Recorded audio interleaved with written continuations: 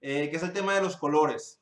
Tendemos a hacer, a fijarnos por lo primero que vemos o, darle mucha importancia a lo primero que vemos y lo primero que vemos es un color. Entonces luego, luego pensamos que lo que ocupamos es el señuelo del color adecuado para pescar. Entonces vamos a hablar de, eh, bueno, de lo que dice la teoría, de lo que dicen los libros, este, de lo que se dice que es lo que se debe de hacer, en qué condiciones utilizar qué tipo de colores. Les voy a platicar un poquito de mi experiencia aplicando esta teoría, esta teoría y de lo que pienso en general de la cuestión de los colores. Este, vamos a empezar, número uno, diciendo, hay que pensar en, en los, en cuando, cuando se trata de señuelos, hay que pensar en los colores como, ¿cómo decirlo? Tenemos que pensar en los colores como como de dos maneras principales. De dos maneras principales. Los, colores en cuanto a los señuelos se dividen entre señuelos claros y señuelos oscuros. ¿A qué me refiero con esto? Hay que verlo de esta manera tan simple porque realmente cuando se trata de pesca no hay mucha diferencia entre un señuelo gris y un señuelo verde oscuro o entre un señuelo lila o un señuelo, a un señuelo azul. Es prácticamente lo mismo. Eh, realmente para un pescado, por ejemplo, eh, aquí tengo, aquí tengo, por ejemplo, que podrás mostrarles. Algo así. Tenemos, este es un, este es un rapala, este es un color lisa, muy como muchos que hay en el mercado. Y tenemos esto, por ejemplo. uno es verde y el otro es gris o el otro es azul. Es la misma. A la hora de pescar es la misma. Entonces, a la hora de pescar pensemos en los colores como claros, colores claros y colores oscuros. A su vez, también tenemos que pensar en los colores como colores naturales y colores neón. Entonces vamos a hablar un poquito de cuándo cada uno. La teoría, los libros. La teoría, los libros dicen los colores oscuros en condiciones se deben utilizar en condiciones de poca luz y los, y los colores claros en condiciones, en condiciones de mucha luz. Esto no nada más significa, poca luz no nada más significa al amanecer o de noche. También cuando el agua está muy turbia, se recomiendan colores oscuros porque hay menos penetración de luz en el agua. La idea detrás de esto es que un señuelo oscuro crea una silueta más visible que un color claro. Piénsenlo un poquito. Cuando estamos en la pesca muy tempranito de mañana y que apenas está clareando, lo que vemos a contraluz realmente es un perfil, una sombra negra. Entonces un señuelo negro crea una sombra más clara en condiciones de poca luz.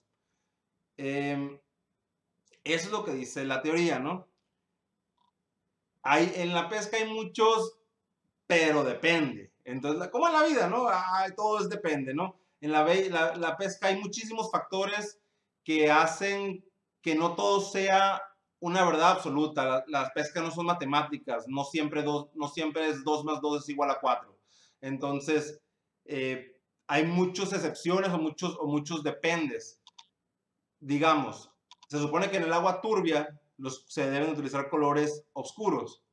Pero habrá algunos de ustedes que me han dicho, pues mentiras, yo en agua turbia utilizo los Fire Tiger, los colores amarillos fluorescentes como estos, eh, y me va súper bien. A mí también a mí también, pero ¿qué es lo que pasa? Esos por lo general jalan muy bien en condiciones de agua turbia, pero el sol brillando muy fuerte. El sol brillando muy fuerte hace que es la poca luz que penetra en el agua turbia peguen en el amarillo de esos señuelos y se vean bien debajo del agua. Obviamente esto es en un rango de profundidad relativamente bajo, ¿no? Eh, más allá de unos 30, 20 metros, el color de los señuelos empieza a importar cada vez menos, ¿no? Bueno, esa es la cuestión de los colores claros y los colores oscuros. Cuando hay agua muy clara, se recomiendan pues colores claros, pero eso es cuando la pesca está muy activa. Porque también cuando la pesca no está activa y el agua está muy clara, se recomienda utilizar colores realistas, colores que imiten a la carnada que hay en la zona, em, colores más naturales. Por ejemplo, este es un ejemplo de un color no natural. No hay pececitos, por más bonito que esté el señuelo, no hay pececitos así en el mar. Y aún así, cuando hay actividad, pesca. Pero cuando está lenta la cosa, se recomienda usar colores más naturales. Un ejemplo de un color más natural, el clásico color sardina, blue sardine. Entonces, cuando el agua está muy clara. So, eh, pongámosle tantita cabeza, suena lógico. El agua muy clara eh, le permite a, en realmente al pez ver realmente el señuelo. Entonces, cuando están remilgosos, la, la, pesca está un poco más lenta, a lo mejor un color fosforescente o un amarillo, una cosa así, como de por sí el pez está no muy ansioso por atacar, pues le pones algo poco natural y a lo mejor menos. Pero le muestras algo muy natural y a lo mejor logras que el pez diga, que el pez, que los instintos entren, que entren a jugar los instintos y que el pez ataque porque tiene que atacar, ¿no? Entonces, es la cuestión, cuando el agua está muy clara y la pesca es lenta, cambiamos a señuelos, a señuelos más naturales. Pero, por el contrario, cuando, el, cuando la pesca, aunque el agua está clara, pero si la pesca está activa, los señuelos fosforescentes son, a veces son muy, muy efectivos. Hay veces que a lo mejor estás pescando con señuelos naturales y están atacando y están atacando y cambias a un fosforescente, cambias a un amarillo, cambias a un rosado, cambias a un anaranjado neón como el que mostré ahorita y empiezas a tener el doble de ataques o a lo mejor empiezan a atacar más peces, a los animales más grandes. Eh, cuando están dentro del frenesí alimenticio, que el animal se está alimentando, a veces el, este color diferente que sobresale de todos los demás los hace que lo ataquen más. Entonces la pesca está llena de, de, de ese tipo de cosas, de, de, factores que nos dicen a veces sí y a veces no. Me gustaría poder hablar de verdades absolutas y decirles, usen este color y siempre van a pescar. La pesca no es así. La pesca no es así. Pero, pero bueno, esa es la cuestión con los colores. Esa es la teoría. Esa es la teoría, lo que dicen los libros. Resumiendo, condiciones de poca luz, poca luz o señuelos oscuros. Mucha luz, señuelos claros. Eh, agua clara, con agua clara, con actividad de pesca, de lo que quieras. Recomendados también colores, tonos neón. Agua clara, con pesca, poca actividad, colores más naturales. Eh, agua turbia, con buena actividad de pesca y buen sol, podemos usar colores fosforescentes. Agua turbia, a lo mejor nublado, definitivamente colores oscuros. Em, agua turbia, digamos, con poca actividad de pesca, colores oscuros también o colores naturales. Eh, ese es a muy grandes rasgos, ¿no? La cuestión de, de cómo escoger los colores. Si se fijan por lo que le estoy hablando, le estoy diciendo que pues a veces ocupan colores oscuros y a veces ocupan colores claros. Por eso es muy recomendable que siempre como tengamos de un tipo de señuelo, tengamos una versión oscura y una versión clara. Eh, no necesariamente el mismo señuelo de modelo y marca, pero por ejemplo, si vamos a traer cuatro poppers en nuestra caja, preferentemente cuatro oscuros y cuatro claros. Eh, dentro de todo esto, perdón, dentro de todo esto, pues los colores, el color blanco eh, es un color que juega de las dos puede ser considerado natural si en la zona donde pescas eh, existe mucho presencia de, charales o de carnadas de pescadito blanco. Si no es así, es simplemente considerado un color, un color claro a utilizarse en las condiciones en las cuales se recomiendan los colores claros, como dijimos ahorita, ¿no? Entonces, esa es la, esa es la idea a grandes rasgos. En mi experiencia, yo les estoy diciendo, perdón, yo les digo a grandes rasgos eh, lo que dicen los libros y lo cual digamos que es cierto el 80% de las veces. ¿Qué pasa con ese 20% que queda? La pesca es bella, ella es hermosa y hace lo que le da la gana con nosotros. Y cuando tenemos, eh, según nosotros, toda nuestra lista de factores palomeados de que, ah, no, pues ahora bajar a la silla, así, así, por esto, por esto, por esto. Llegamos y se suponía que no había pesca y sí hay. O se suponía que no iban a jalar con un tipo de señal y jalan, a veces, ¿no? Eh, y es cuando entra el jugar el Quiere, decir que hay un factor más que no estamos considerando. Y es donde la pesca se vuelve divertida. Si la pesca fuera un simple decidir, ah, sí, pues cuando esté así pesco así y cuando esté acá pesco de esta manera y si así voy a sacar, se tornaría aburrida. Entonces, las, las salidas de pesca fracasadas son lo que le dan sabor a las exitosas. Entonces, pues bueno, esa es la teoría básica de los colores. Eh, como les digo, experimenten. Si lo que dicen los libros no está jalando, sálganse del guion. Prueben con, lo, prueben, prueben con lo que no se supone que debería de jalar. Muchas veces, muchas veces se logran ataques de esa manera. Pero esa es la teoría básica del color, porque muchas gentes Es de las preguntas yo creo que más me hacen tanto en los comentarios como en las redes sociales eh, o cuando conozco personas eh, en persona. Es de las preguntas que más me hacen sobre qué color usar, cuál es el mejor color para el robalo, cuál es el mejor color para el pargo. Eh, siempre no se trata de las especies, se trata más bien del lugar de pesca, ¿no? Entonces, espero, que con esa pequeña guía ya puedan definir más o menos qué, qué escoger. Y, y, pues bueno, habiendo dicho todo esto, y ahora van a decir ustedes, ah, bonita chingadera, ¿para qué nos dijiste todo este rollo? Habiendo dicho todo esto, quiero explicarles que el color de los colores yo creo que es el, el factor menos importante de los factores que hay que tomar en cuenta a la hora de escoger un señuelo. ¿Qué quiero decir? Eh, no, se, no se quiebren tanto la cabeza de que, ay, que si, que si, que si el pesca, ay, a mi compadre le jaló muy bien el señuelo con atigrado, que tiene rayitas, así como tigre, así como este. Esto es exactamente lo mismo. Para un pescado, esto es exactamente lo mismo que esto. No se, no, fijen al detalle. El pescado no lo hace porque habrían de hacerlo ustedes. Mm, entonces, independientemente de eso, los colores sería lo último que debemos de fijarnos a la hora de escoger un señuelo. Cuando alguien te diga, ¿con qué señuelo jaló? No te dicen, con uno blanco. Pues blancos hay muchos, ¿no? Eh, primero, lo más importante es en qué zona de la, de la columna de agua se mueve, superficie, media agua, fondo, qué tipo de acción tiene, eso es infinitamente más importante que el color del señuelo. Y hasta lo último, no, incluso después vendría la velocidad del recobro o el tipo de acción que le des y hasta lo último vendríamos a tomar en cuenta el color del señuelo. Si bien no quiere decir que no importe, quiere decir que primero hay que fijarse en otras cosas antes de fijarse en el color de los, en el color de los señuelos. Y pues bueno, vamos a ver a... Vamos a empezar, vamos a leer algunas de las preguntas. híjole amigos, somos 83 espectadores simultáneos. Muchas gracias a todos por estar aquí. No me había tocado que fuéramos tantos. Muchas gracias. Estamos iniciando este 2018 con todo. Voy a tratar de leer algunas preguntas. Eh, no me voy a poder ir unas por unas, amigos. Lo siento porque somos demasiados. Voy a tratar de contestar la mayoría. Ténganme paciencia. Vamos a empezar. Mm.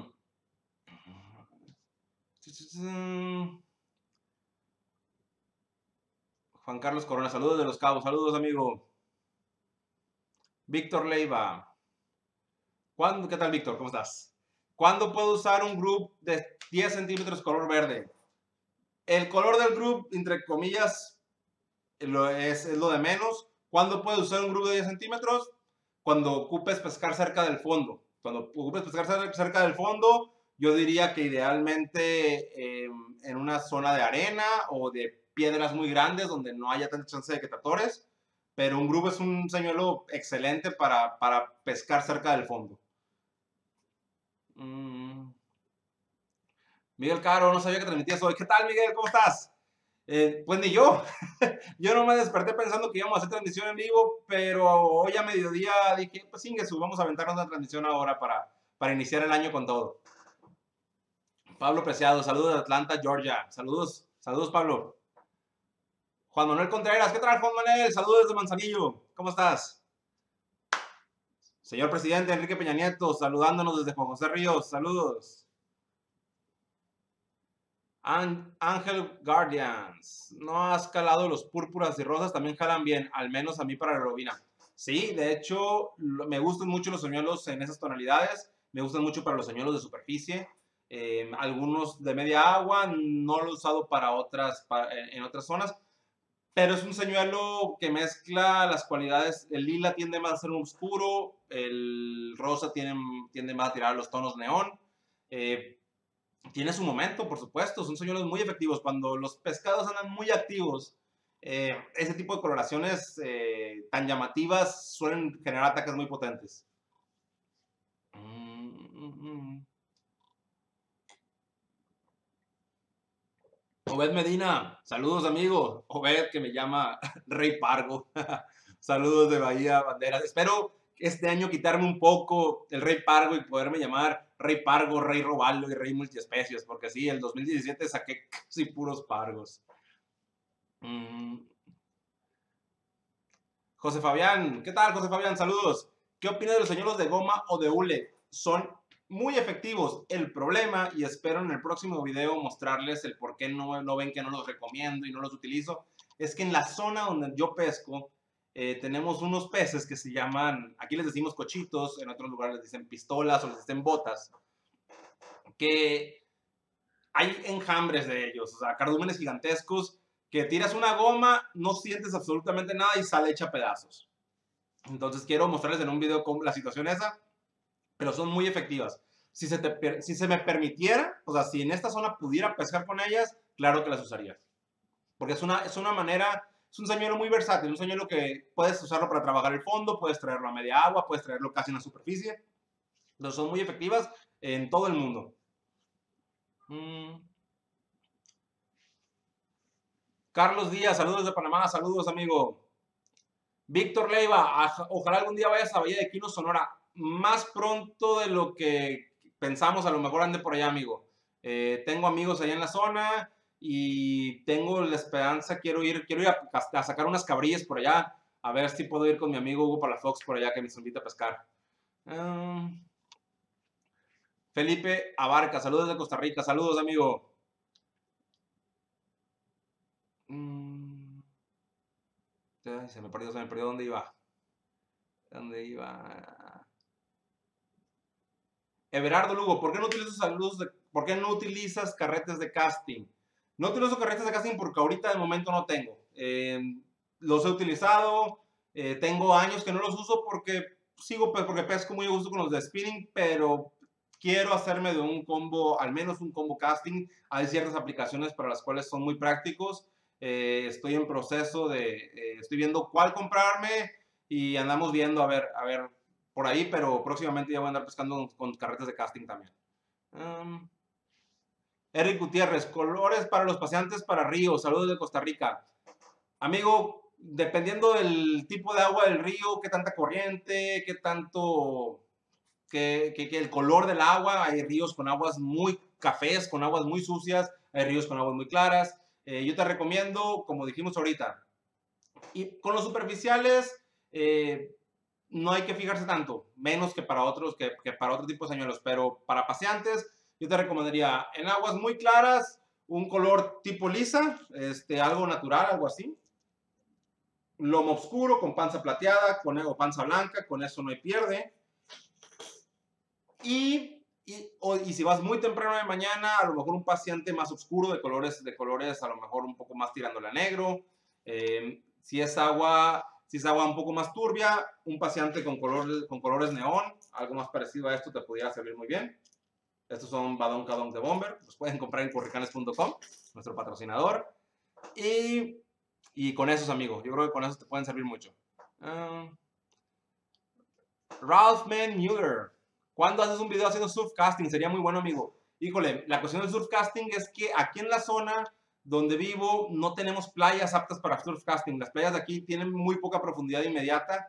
Entonces, realmente la pesca, el surf, aquí no se practica. Hay una playa con buena pesca al surf, a la cual se tiene, le tiene que llegar en lancha, eh, que realmente no la pescamos en surf, porque cuando vamos para allá a pescar, pues pescamos desde la lancha, porque vamos en lancha, pero sí, sí tengo muchas ganas de hacer un video con esa modalidad. Eh, ya me conseguí una caña de surf, espero comprarme un carrete un poco más adelante, un carrete tamaño 5000, eh, para cazarlo con esa caña y esperar un día, nos vamos en la lancha y nos bajamos a casear desde la orilla en esta playa, ahí en las copas. Mm. Pablo Esteban Díaz, saludos de Argentina, saludos amigo. Jorge R. Carrillo, saludos desde Nayarit, saludos Tocayo. Gaspar, Gaspar Jorge Núñez, ¿qué tal Tocayo? Excelente canal, muchas gracias amigo, estamos chambeándole. Uh, Pascual Salazar, saludos desde Culichi Town, saludos amigos hasta Culiacán. J. Alexander, jurado, en el Pacífico colombiano. Mm,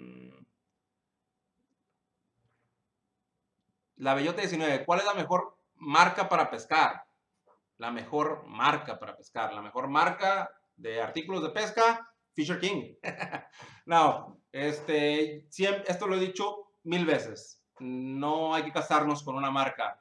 Todas las marcas tienen productos de diferentes gamas. Siempre pongo como ejemplo a Shimano, que tiene carretes desde 400 pesos hasta 29 mil pesos y cada uno de ellos tiene sus bondades, y sus, pros y sus contras, ¿no?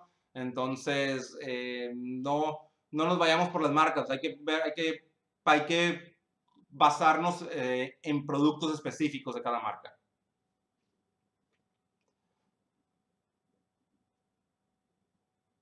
Uh,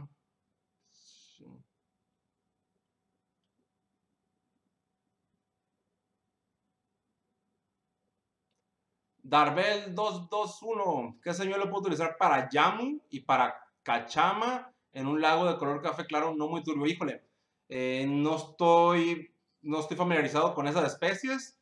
Em, no estoy familiarizado con esas especies, pero, pero dado que es una es un agua de café, café de color claro. Yo me iría, si está el sol muy arriba, con, color, con señuelos blancos o claros, pero probablemente blancos. Y si está un poco nublado, en colores más oscuros, a lo mejor un azul oscuro, un verde oscuro, cosas así. amigos, tenemos un super chat, 5 dólares. Muchas gracias. Muchas bendiciones, buena pesca para todos este 2018. Les invito a apoyar los canales que trabajan para traer un contenido. Muchas gracias, señor Bass Fishing. Señor Bass Fishing, amigo, muchas gracias por el superchat. Es el primer superchat que recibo, ¿eh? Muchas gracias. Muchas gracias por la donación. 5 dólares, muchas gracias. Si no han checado el canal de Señor Bass Fishing, tiene un canal de pesca en Estados Unidos, eh, de más que nada la visión, digamos, de los latinos pescando ahí en Estados Unidos. Muy buen canal, con muy buena información. Chequenlo, muy buen canal, Señor Bass Fishing. Él ya es uno de los grandes por allá, ¿no? Aquí nos andan dando una vuelta aquí con los pequeños. Saludos, amigo.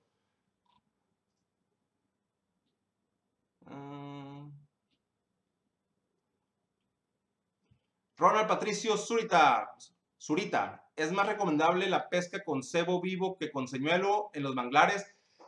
Con, con carnada viva vas a lograr más cantidad de, capturas, amigo. Eh, obviamente, pues está el trabajo extra de conseguir la carnada viva y todo eso. Pero si no es problema para ti, con carnada viva vas a lograr más cantidad. La mayoría de las veces. Eh, por lo general, con señuelos logramos más calidad. Eh, ¿Por qué? Porque vas a tirar, si hay mucha actividad, pues pues cambias un señuelo grandote y puedes buscar a lo mejor un muy buen animal. Entonces, mm, pequeño gamer, tengo unos poppers, me dices cómo usarlos, no sé si lo doy muy, muy rápido o muy lento. Mm, ahí te va, amigo. Los poppers, por lo general, hay que trabajarlos un poco lento.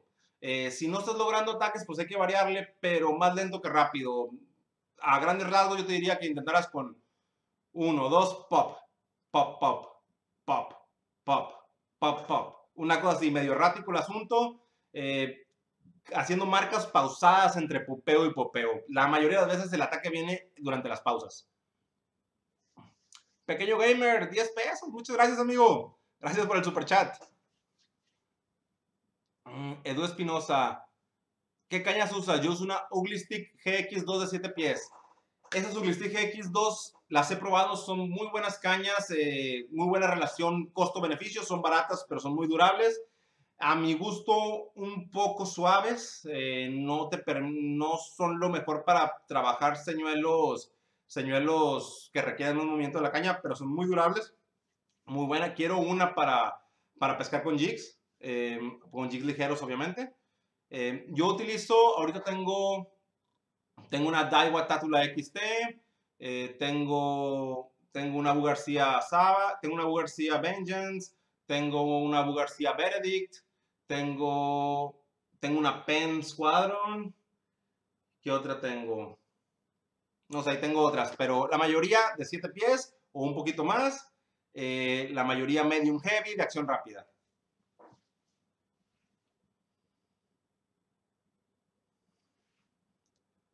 Orlando Verdugo, señor Bass Fishing es un crack, es un crack el señor, él sabe lo que hace. Chequen el canal del señor Bass Fishing. Héctor Said, ¿qué tal, hermano? Saludos, qué bueno que andes por acá. Siram Rivas, saludos de Mazatlán. ¿Qué tal, amigo? Saludos. Mm. Juan Manuel Contreras, eh, he seguido tus consejos para ir adquiriendo eh, el, equipo de pesca. Así es, Juan Manuel. Con mucho gusto te apoyamos, ya sabes. Mm. Fabsar, ¿en qué tipo de agua puedo usar las cucharas plateadas? Las cucharas plateadas son de los señuelos más versátiles que hay. Em, el único momento en el cual donde a lo mejor no las usaría mucho sería de noche, pero empieza a, a, salir el sol y deja que el sol pegue en esa cucharita. Eh, también si el agua es demasiado turbia, a lo mejor no tiene mucho caso utilizarlas. Valdría la pena probarlas porque a fin de cuentas hacen mucha vibración, pero definitivamente esas cucharas son para desempeñarse cuando el sol está brillando con todo, amigo. Mm. Anuel, ah, ¿cómo utilizar un jerkbait? Un jerkbait. Eh, hay quienes los, trabajan a recobro sencillo, simplemente cuestión de traerlos. Se supone que son jerkbait, son para trabajarse a jalones. Eh, usualmente, digamos, 1, 2, pausa, 1, 2, pausa. Eh, puedes ir variando con los recobros, pero esa es la forma básica. Eh, a tirones, pequeños tirones, muy pequeños. ¿eh? Este, cuando decimos tirones, es con la punta de la caña, estás, muy leves. acuérdense que el, que el, el mango, entre la distancia del mango y la punta de la caña, se exagera mucho el movimiento. Entonces, son, son movimientos más bien tranquilos. Entre más pequeña el señuelo, movimientos más, más, más, cortos. Ya más grandes señuelos, pues hay que moverlos más. Mm.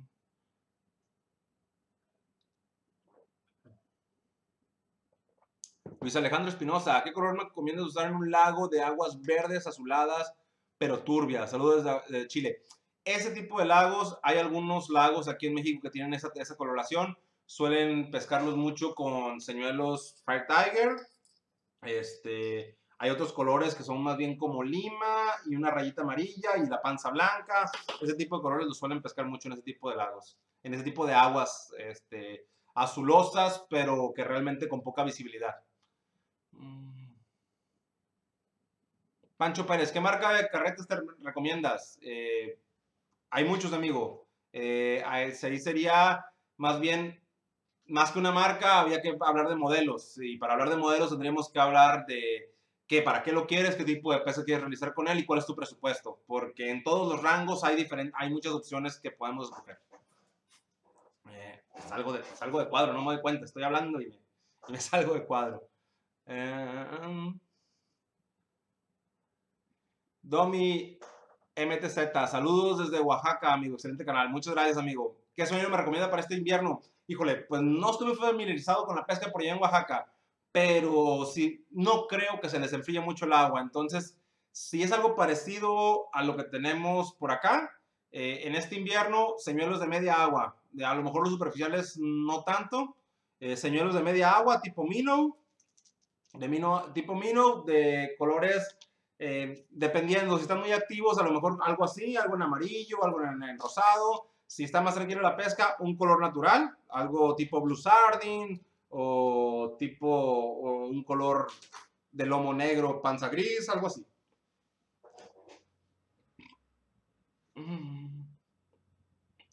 Jorge, ¿algún señuelo técnica más digo para pescar en Topolobampo en estos climas fríos, ya que no ha picado igual que en tiempo de calor? Eh, ahorita la bahía, fíjate, está, muy curiosa.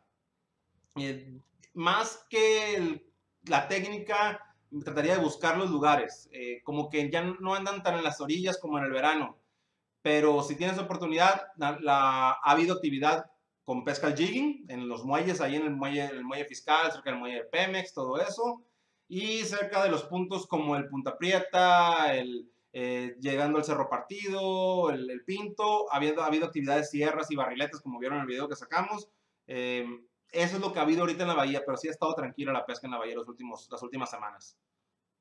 Mm. Patrick Viveros, 10 pesos. Gracias por la donación, amigo. Gracias, saludos.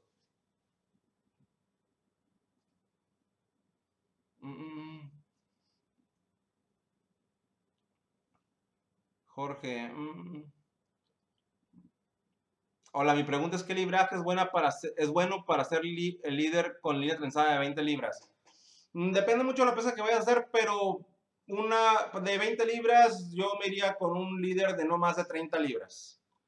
Mm.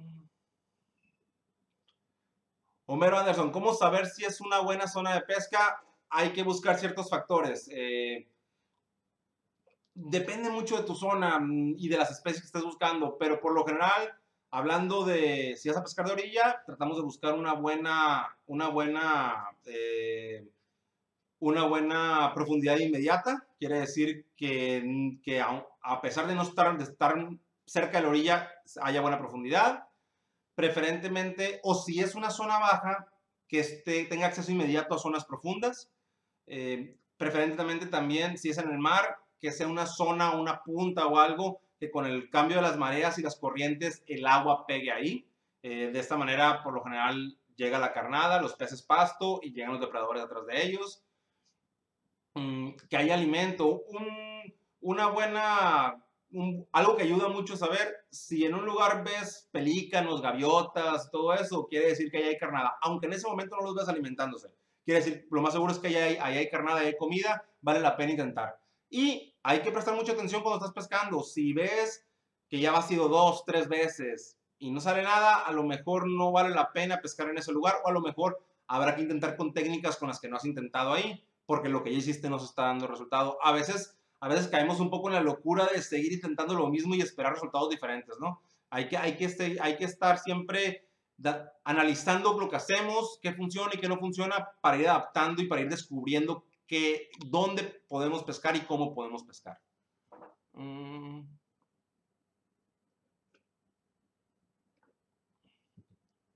Dime, José Beltrán, dime alguna parte de pesca de orilla aquí en Topolobampo. ¿Qué carnada recomiendas? Híjole, aquí en Topolobampo no hay secretos, amigo. No hay, no hay menos aquí en el área de Topolobampo, el Mavir y todo eso. A mí me gusta mucho pescar en los tubos. Eh, me gusta mucho pescar como pesca de orilla en, los tubos, en las cruces.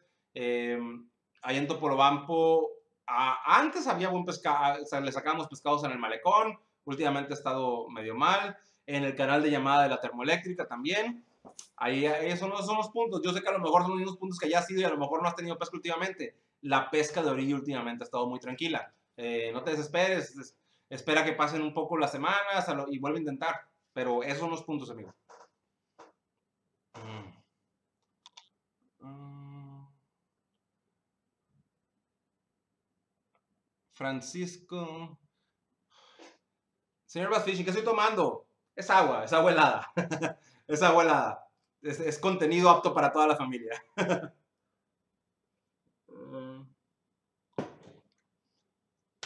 Juan Manuel Contreras, tu caña Daiwa Tatula, ¿dónde la adquiriste? Mi caña Daiwa Tatula fue un regalo de un amigo que me la trajo de Estados Unidos.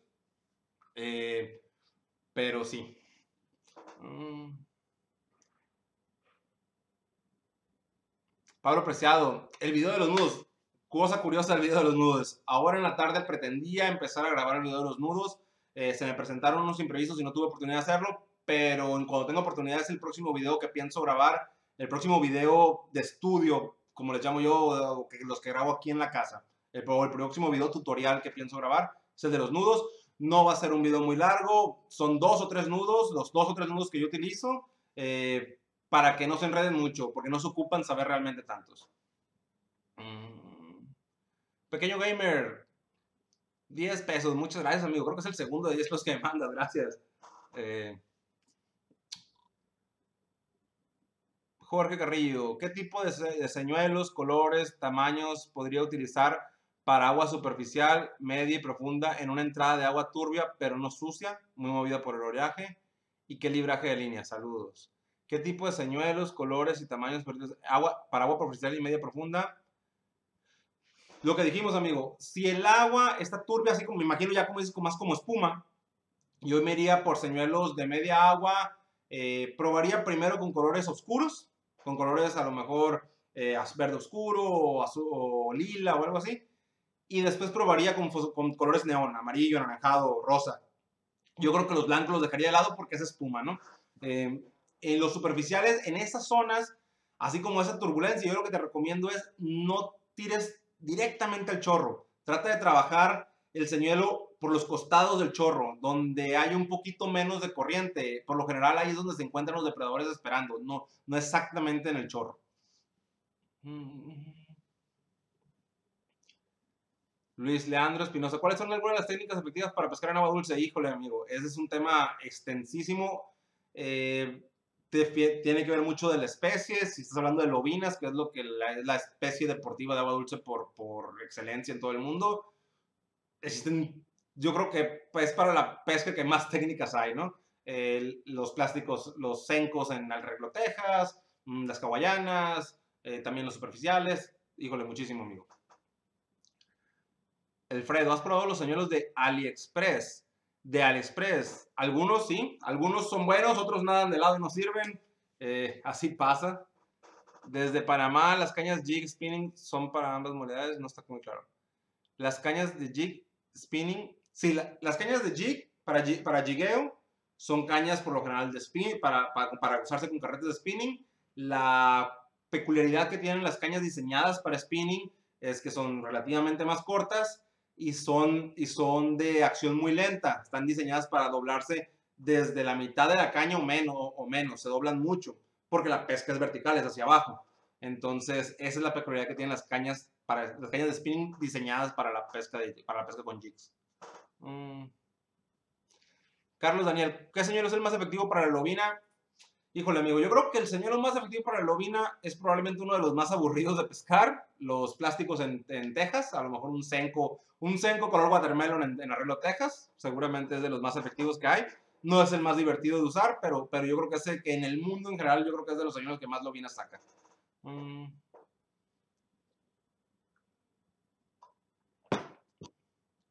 Señores que no han de faltar en tu caja de principiantes.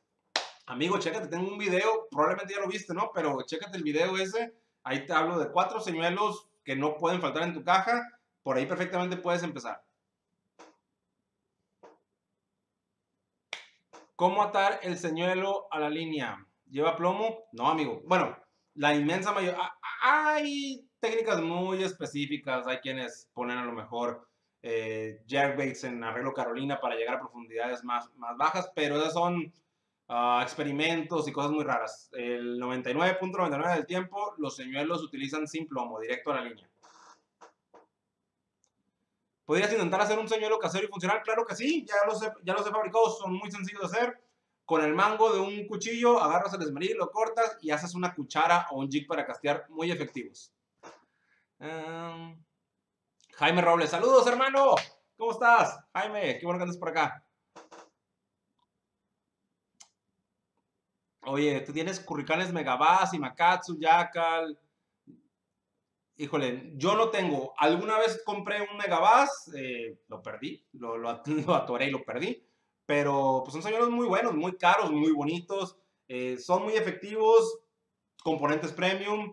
Eh, no estoy tan seguro que en realidad obtengas lo que pagas. Me refiero a que Cuestan tres veces más que algunos señuelos y no sé si, tengan el tres veces el desempeño, pero son muy bonitos señuelos.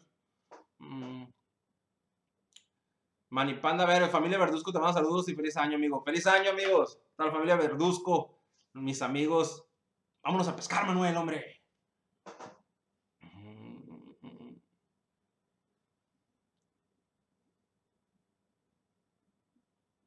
La bellota, ¿puedes mostrarnos tu caja de pesca? Bueno, la, yo en realidad no tengo una caja de pesca, en realidad tengo un tendedero de curricanes. Algún día se los voy a enseñar, está en otro cuarto. En el que tengo, señuelos, tengo colgados todos mis señuelos y cuando voy a pescar, dependiendo del tipo de pesca que voy a hacer, echo los señuelos que pretendo utilizar. Pero lo que sí tengo aquí, y los meto en charolas de ese tipo, ¿no?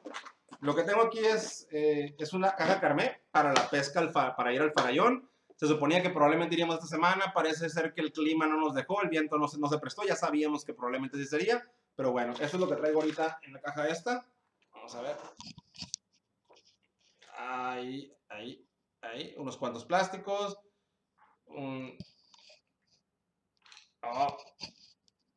Más es más difícil de lo que parece, amigo. Es más difícil de lo que parece, no se desesperen. Es más o menos lo que hay. Unos X-Rap 14, un Yosuri, un Rattling grande. Y ya. Suelo ir, suelo ir a pescar con pocos señuelos en mis cajas. Eh, al principio cuando iba empezando llevaba una caja de, gigantesca con todos mis señuelos, que las abres y salen tres charolas para cada lado. Por el tiempo me dando cuenta que iba a pescar, me llevaba 30 señuelos, 40 señuelos y terminaba utilizando 3 o 4. Entonces para, es más práctico y más ligero ir con una caja con señuelos reducidos. Ya cuando uno ya va a ir a pescar ya más o menos sabe lo que va a necesitar. Entonces eso es, eso es lo que hago yo a la hora que voy a pescar.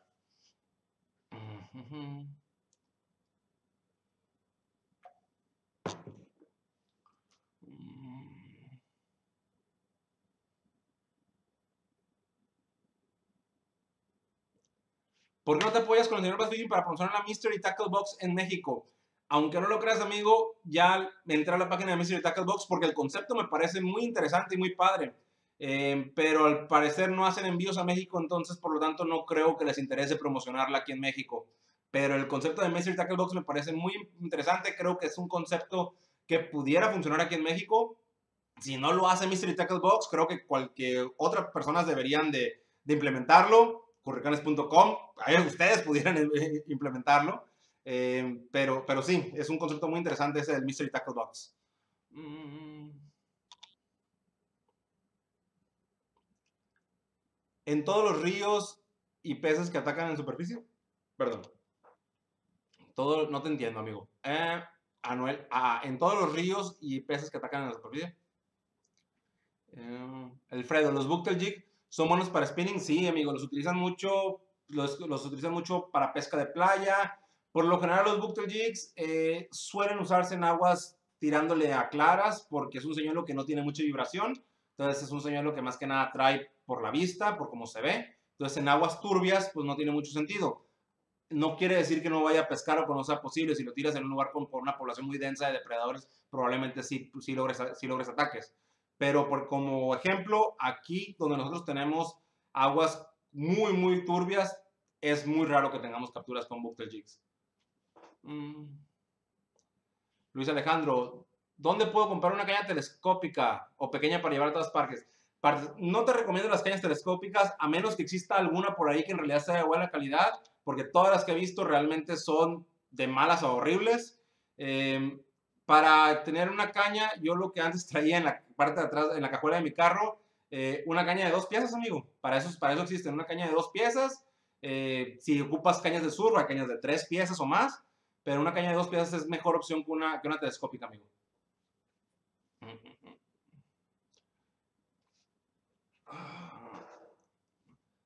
La verdad es muy caro, un curricán de 100 pesos sirve y pesca igual que uno de 500. Sí, amigo, eh, no es igual, pero sí pescan. Los señuelos de, de 100 pesos, este es un señuelo de 100 pesos, es un feature de 100 pesos, pesca. Eh, lo que yo sí, hay señuelos que son más caros, para otros tipos de pescas, por ejemplo, para la pesca, señores más grandes, para pescas más rudas, donde ocupas alambres de calibres más gruesos, en suelos de mejor calidad. Yo creo, ah, yo creo que ahí es donde en realidad vale la pena gastar un poco más en señuelos.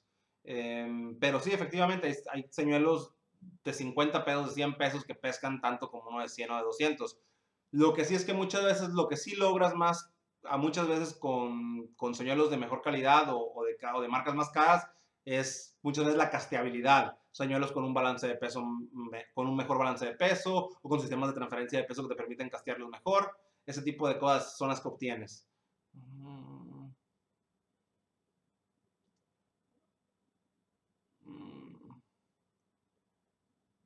Luisón Cisneros, ¿qué tal Luisón? ¿Cómo estás Luis? Eh, de las gomas, las gomas, eh, hace ratito lo comenté, aquí no podemos utilizarlas porque hay muchos coches y, y nos las rompen todas pero sé que ustedes allá en WhatsApp, en la escuela de las glorias, las utilizan mucho. Son muy efectivas. Si tienes oportunidad de utilizarlas, adelante. Son señuelos que en todo el mundo generan muchísimo pescado.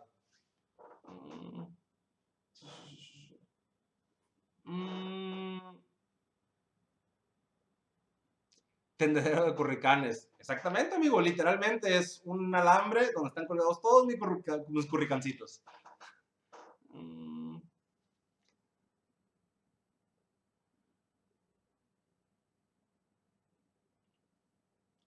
Gracias, Jorge Tocayo. Híjole, la cuestión de transmisiones en vivo, eh, no siempre hay chance, no siempre hay chance, pero, pero vamos a tratar de hacerlas cuando menos cada 15 días. Mm. La marca Caperlan es buena, no he oído críticas, por eso te pregunto. Caperlan, nunca la había escuchado, amigo. A lo mejor sí es buena, pero la verdad no, no me suena. Mm.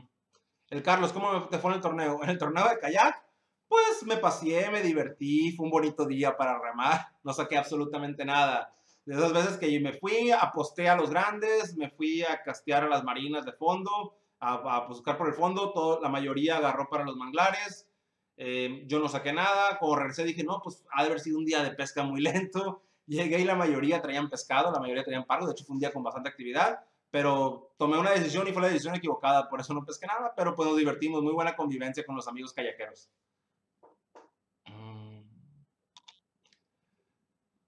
Alfredo, ¿cuántos kilogramos pesa el pez más grande que has pescado? Híjole, yo no he pescado realmente animales muy, muy grandes. Eh, pesqué alguna vez eh, una curvina grande, como de unos 8 kilos. Pesqué alguna vez con línea en mano y carnada en viva, eh, coconacos de 5 kilos, 4 kilos. Em, realmente no me ha tocado realmente la oportunidad de pescar un trofeo de mucha cantidad, muchos números, pero he tenido varios en mis manos. Pescando de orilla en el Mavidi, eh, se me fue un robalo, de hecho con este señuelo, con, exactamente con este, con este Skitter Pop 12, hace como unos 5 años, se me fue un robalo mínimo 15, 16 kilos, una cosa así, un reverendo monstruo se me enganchó, lo traje pegado un ratito, sacó medio cuerpo del agua y lo escupió. Y pues bueno, así es la pesca. Mm. Augusto Adrián, buenas noches. Podría saludar a mi esposa Abigail García. Saludos, Abigail. Saludos. Mm. Lautaro Lorenzo, he probado el señuelo directo en la línea, pero no va muy lejos, máximo 10 metros. ¿Qué puedo hacer? ocupas o un señuelo más pesado o ocupas una caña para el tipo de señuelo que estás pesando o para el tamaño de señuelo que estás utilizando. Cuando, cuando eso sucede es porque queremos lanzar señuelos demasiado ligeros para el tipo de equipo que tenemos. Hay que tener el equipo adecuado, amigo. Eso es todo. Mm. Alfredo, vayas a dormir, amigo. Buenas noches. Que descanse. Saludos. Gracias por pasarse por acá.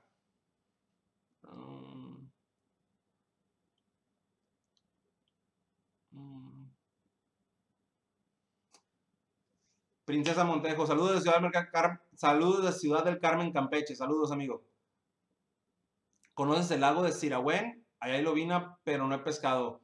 No he pescado nada. Me gustaría mucho que me contestaras y me dieras un consejo. Sirahuen. Ah, me suena Sirahuen, pero no, no, no estoy seguro dónde está. Pero me suena que son de esos lagos con mucha presión de pesca, donde la pesca de, la pesca de es complicada.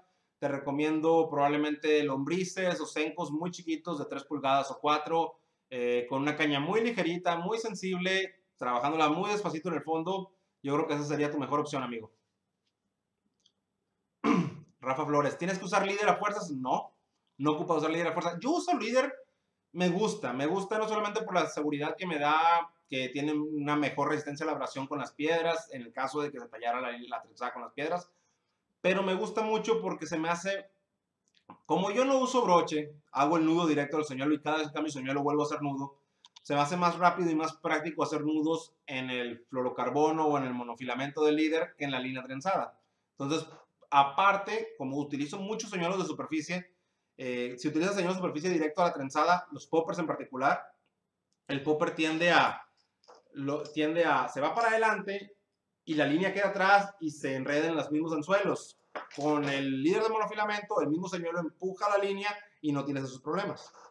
Entonces, hay, hay varias, varias cosas que te hacen la pesca más cómoda si usas, si usas líder, pero no es absolutamente necesario. Juan Guillermo Rueda Caro, ¿alguna vez has venido a pescar a Colombia? ¿Y en qué departamento? Híjole, no, amigo, ojalá, ojalá. Uno de mis sueños es ir a pescar a Sudamérica. Eh, no sé si ustedes ahí en Colombia tengan pavones también, pero esa es mi pesca soñada ir a pescar pavones a Sudamérica, los, los peacock bass, sacar unos peacock bass con popper, acá un peacock bass de 5 kilos, una cosa así. Esa es mi pesca soñada, espero poder hacerla algún día. Princesa Montejo, saluda a mi esposo, es tu fan. Saludos, esposo de Princesa Montejo. Saludos. José María Almeida, buenas noches, Jorge. Dios te bendiga. Saludos, saludos, amigo. Dios te bendiga también.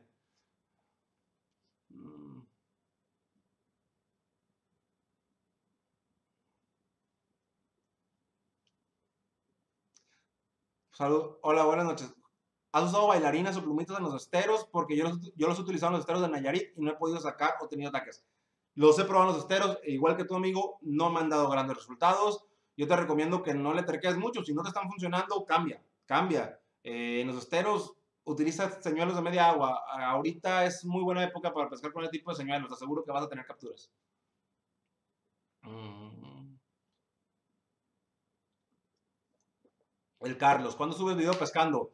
Híjole, pues cuando vaya a pescar, eh, espero poder ir a pescar en, en, esos los próximos días.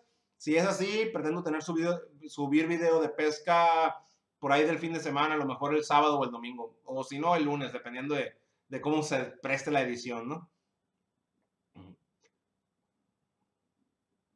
Mm.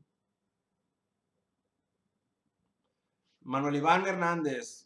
Muchos compañeros utilizan destorcedor con los curricanes, otros usan línea directa al señuelo. En tu opinión, ¿cómo es mejor o cómo se le da mejor acción al señuelo? Saludos Durango, Durango. Saludos, amigo. Yo soy fanático de hacer cada vez que cambies de señuelo, hacer un nudo nuevo directo al señuelo. No me gusta usar destorcedor. Em, en señuelos muy grandes a lo mejor no afecta tanto. En señuelos más como los que utilizamos nosotros definitivamente sí afectan. No es la misma acción. Em, ese peso agregado, ese par de gramos agregados que en la punta del señuelo alteran el balance del señuelo y ya no trabaja igual. Entonces yo no utilizo broches ni destorcedor directamente nudo el señuelo, amigo. Es lo mejor, es conservas la acción, los señuelos se mueven mejor de esa manera. Mm. Roberto Ángel, ¿cómo obtener pargos de buen tamaño pescando en fondo a 60 metros? Con jigs, amigo, haciendo jigging. 60 metros es una profundidad muy grande, te recomiendo jigs grandes, eh, de 200 gramos, una cosa así, eh, con, con equipo adecuado para esos pargos tan grandes y para un señuelo tan pesado como ese, pero pesca vertical haciendo jigging, amigo. Esa es la manera. Mm. Héctor, eso que mencionaste del popper y la línea trenzada es muy cierto y me pasa muy seguido. Así es, amigo. Héctor, hombre, me extraña. Hay que, poner, hay que poner el líder. Pon un líder. Si no tienes fluorocarbono en la mano, hazlo como monofilamento.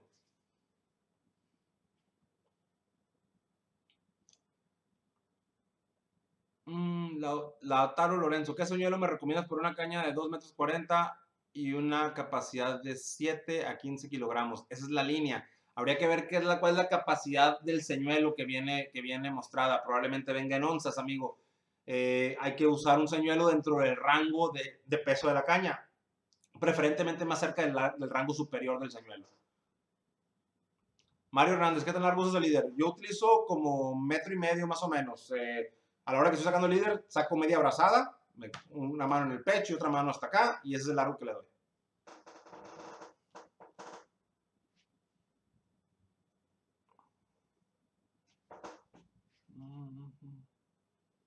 Solder, Solder, saludos desde Cozumel, saludos amigo. Ah.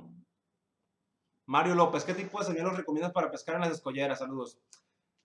Mario, tiene que ver mucho sobre qué quieres pescar y dónde se encuentra lo que quieres pescar. Hay escolleras donde la pesca se hace sobre las piedras de la misma escollera porque están buscando por general pargos o cabrillas o cosas así. Hay escolleras donde he visto que en realidad la gente las utiliza como una especie de muelle para castear lo más adentro posible porque están buscando especies como sierras o como dorados o como, no sé, este, curvinas. Si quieres pescar algo en las piedras, eh, yo me iría por a lo mejor por un señor tipo rating, arrastrándolo por el fondo, o por un señor de media agua, o incluso si es muy temprano, un superficial. Si vamos por las curvinas para castear lejos, una cosa así, con cucharas de una onza, dos onzas, eh, cosas de ese estilo.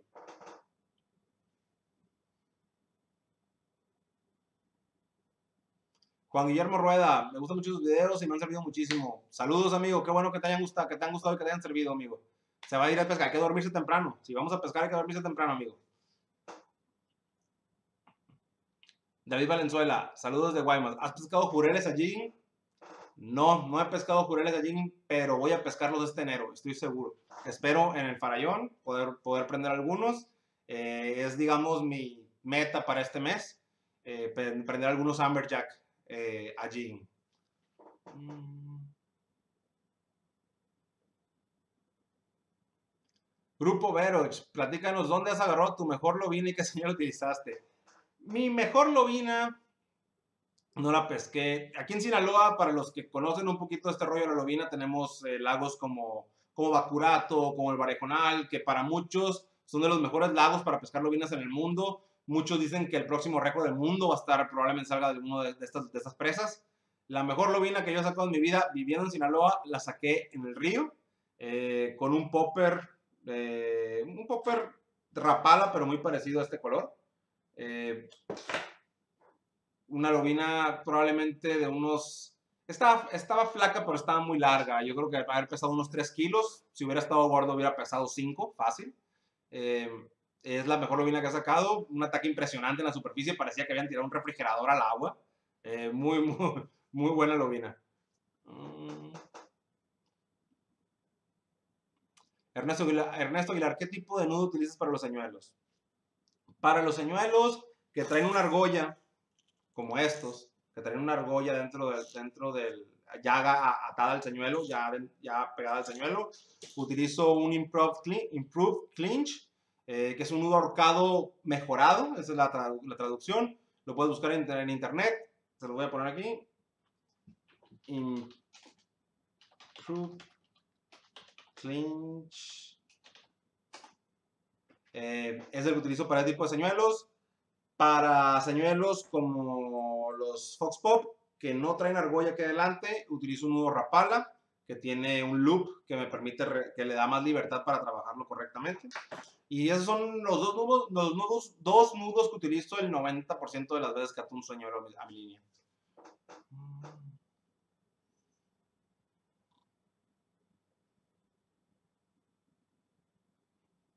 Edu Espinosa, yo, Edu Espinosa, yo uso líderes de acero porque pesco en escolleras y suele picar barracudas de sierras. Excelente, amigo. Esa es la, esa es la única situación en la cual en la cual en realidad se ocupa el, líder de acero. Conozco mucha gente que me, o más bien mucha gente me ha preguntado, oye, voy a pescar robalos, ocupo líder de acero, voy a pescar pargos, ocupo líder de acero. Para nada, las únicas especies para las cuales realmente ocupas líder de acero son para las barracudas y sierras de buen tamaño.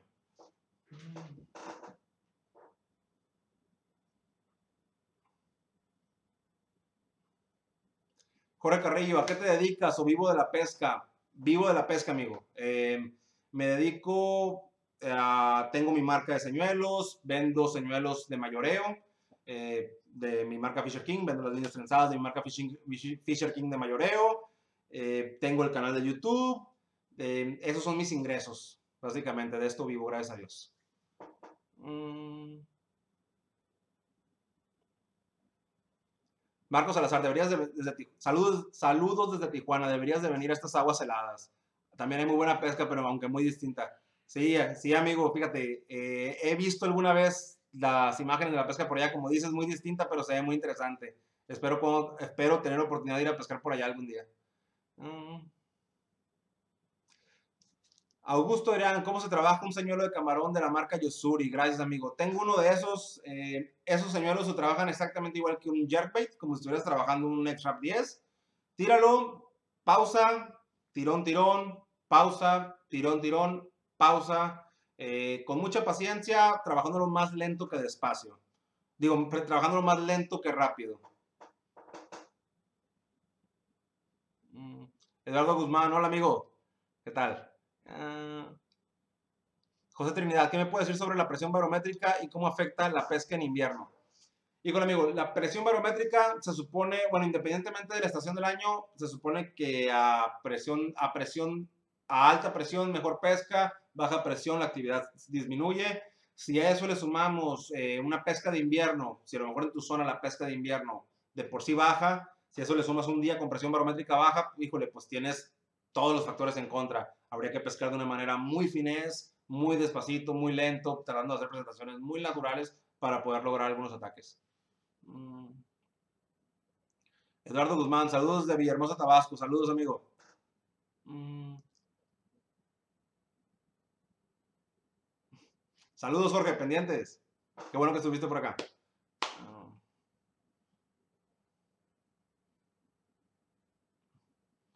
Asaf Harim Olalde.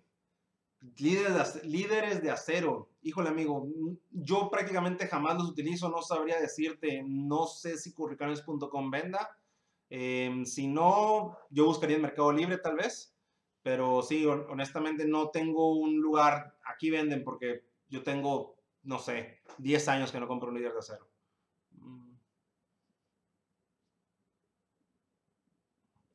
José Trinidad, caña para paletón. Las cañas para paletones por lo general se recomiendan cañas eh, de acción de velocidad moderada, eh, que sean moderate. Eh, pudiera, depende del tamaño de los paletones que utilices. Puede ser medium heavy o medium. Esta caña se supondría que sería para paletones, para jerbaits, eh, a lo mejor para un, para un paseante grande, eh, para hawaianas, que son los spinnerbaits, eh, para ese tipo de señuelos. Ya para señuelos más de, tacto, como los plásticos en tejas, ese tipo de cosas, pues ocupas otro tipo de caña.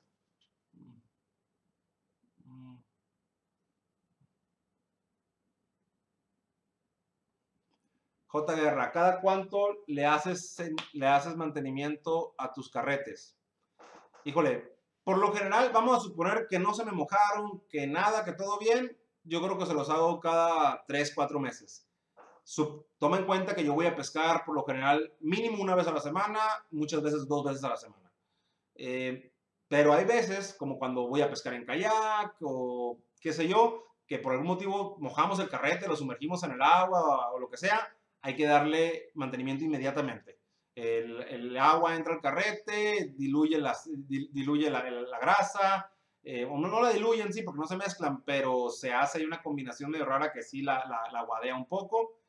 Y, y, se mete la sal entre todos los engranes, hay que abrir el carrete, lavarlo y engrasarlo de nuevo.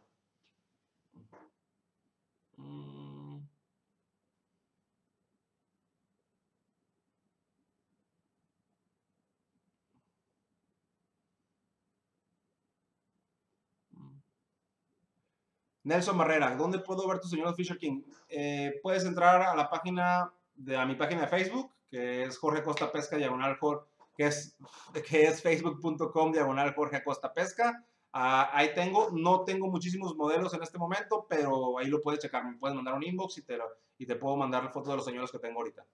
Mm.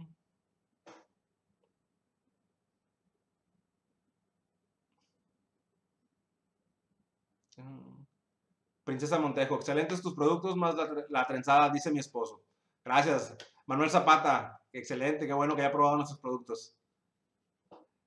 El Carlos, ¿cuál es tu señuelo favorito? Mis señuelos favoritos son los poppers y los paseantes. ¿Poppers y los paseantes? ¿No hay más? No se ocupa nada más para ser feliz en la pesca, señores. Si puedes ir a un lugar donde jale con esto, diversión segura. Um, Everardo Lugo, ¿qué lentes recomiendas para la pesca? Yo utilizo Maui Jim, eh, los lentes Costa también son muy buenos. Eh, los lentes es un artículo, es caro, son los lentes, unos buenos lentes polarizados como los Maui Jim o los Costa son lentes caros, pero creo yo que si los cuidas bien es una inversión que te puede durar muchos años y definitivamente unos lentes buenos los te sirven muchísimo más que unos lentes baratos. Yo no he visto unos lentes baratos que me, que, me den la comodidad a la hora de estar pescando que me dan unos, unos buenos lentes de sol. Mm.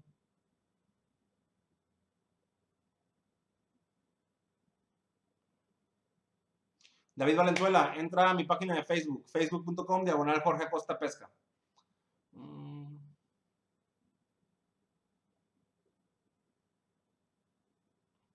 Eduardo Guzmán, saludos Eduardo. No tengo el gusto de, conocer esas tierras, amigo. No, no tengo el gusto de conocer Tabasco. De hecho, el sur del país prácticamente no lo conozco pero espero, espero algún día poder pasearme por todo el este bello país que tenemos, que sé que tenemos pesca en todos los rincones del, mismo.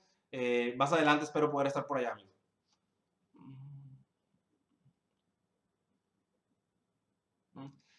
Pyro 7, hola, saludos desde Guasave, saludos amigo. ¿Qué tipo de señuelos me recomiendas para los cureles? Vivo en Melaquebarra, en, en Barra de Navidad. No sé si conozcas por aquellos rumbos. Barra de Navidad, alguna vez pasé por ahí, nomás de pasadita. Sé que hay buena pesca. En el foro de la pesca deportiva en México que existía antes, había muchos reportes de pesca de Barra de Navidad. Eh, para los cureles, creo que hay unas escolleras muy grandes ahí en Barra de Navidad, si, si mal no recuerdo o las fotos que veía. Eh, cucharas grandes, amigo. Cucharas grandes, trabajadas a alta velocidad. Los cureles es de esas especies que se, que se excitan, se emocionan a, la hora de ver un señor trabajado muy rápido. Eh, con jureles a alta velocidad. Digo, con cucharas a alta velocidad, amigo. Mm. Roberto Rangel, ¿qué colores de jigs me recomiendas para pescar pargos en el fondo y qué tipo de línea es ideal? Saludos de Tuxtepec, Oaxaca. Saludos, amigo. Eh, colores de jig, toma en cuenta esto, amigo. Por lo general los jigs, sí, fíjate, se utilizan mucho los colores rosados. Eh, no sé por qué, pero se utilizan muchísimo. Pero hay que tomar en cuenta esto. Entre más bajas de profundidad, menos luz entra y el color se pierde creo que por ahí de los si mal no recuerdo, como 30 metros, una cosa así, ya básicamente todos los colores se ven gris. Se ven gris. Entonces, no te, no te quiebres mucho la cabeza con los colores. Yo me iría por uno rosado si no tienes ninguno, simplemente porque por algún motivo ese es de los colores más populares que hay para, jig para pesca de, de jigging. Eh, línea trenzada, dependiendo de las características de tu carrete, se utilizan mucho líneas de 80 libras, dependiendo del, grueso, dependiendo del peso del señuelo que vas a utilizar. Para jigging se utilizan mucho las líneas de 80 libras, 60 libras, algunas personas hasta de 100 libras pero depende mucho de lo que vas a pescar y del tipo de equipo que vayas a utilizar.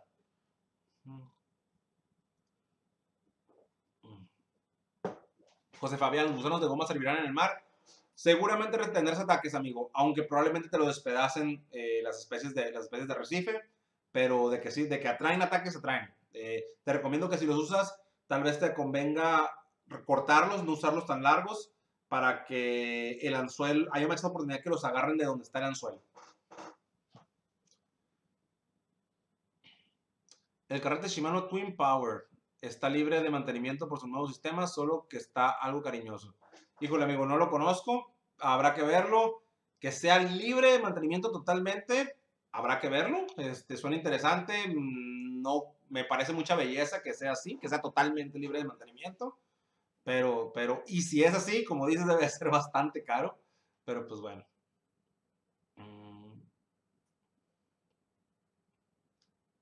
Vidal Viral, ¿qué me recomiendas para pescar en la noche? Señuelos negros, amigo. Señuelos de color negro para pescar en la noche.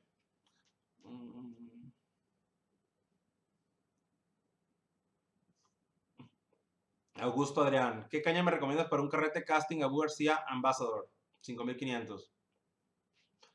Eh, para ese tipo de carretes, por lo general, cañas medium heavy de 6 a 7 pies, eh, con una línea trenzada de entre 30 y 50 libras.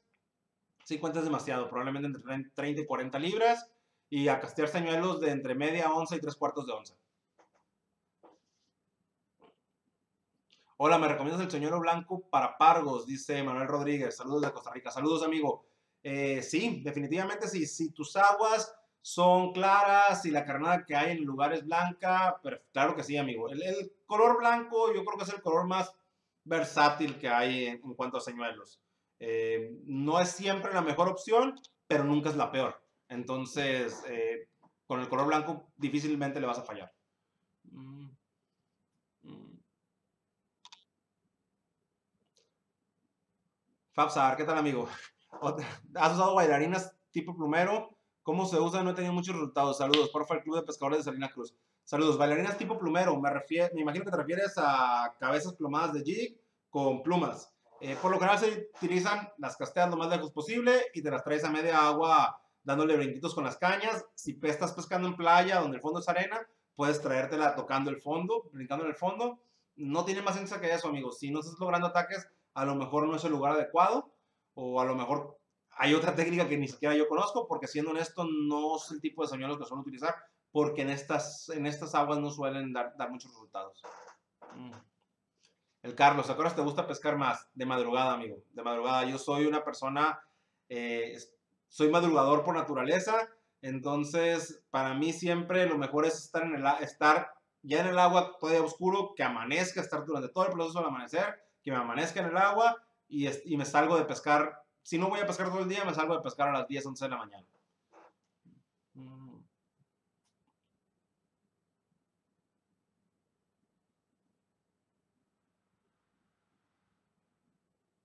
Pequeño Gamer, saludos amigo, ya vi tu página de Facebook.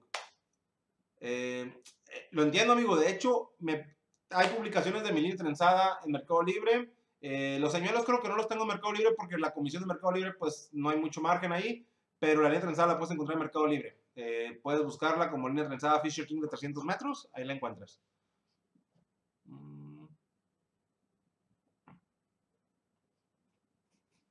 También la línea trenzada, también la pueden comprar a través de curricanes.com. Ahí en curricanes.com está la línea trenzada a muy buen precio. Eh, si le compran a curricanes.com es como comprarme a mí. Entonces, perfectamente. Y son una tienda, pues acepta sus tarjetas de crédito y acepta todo.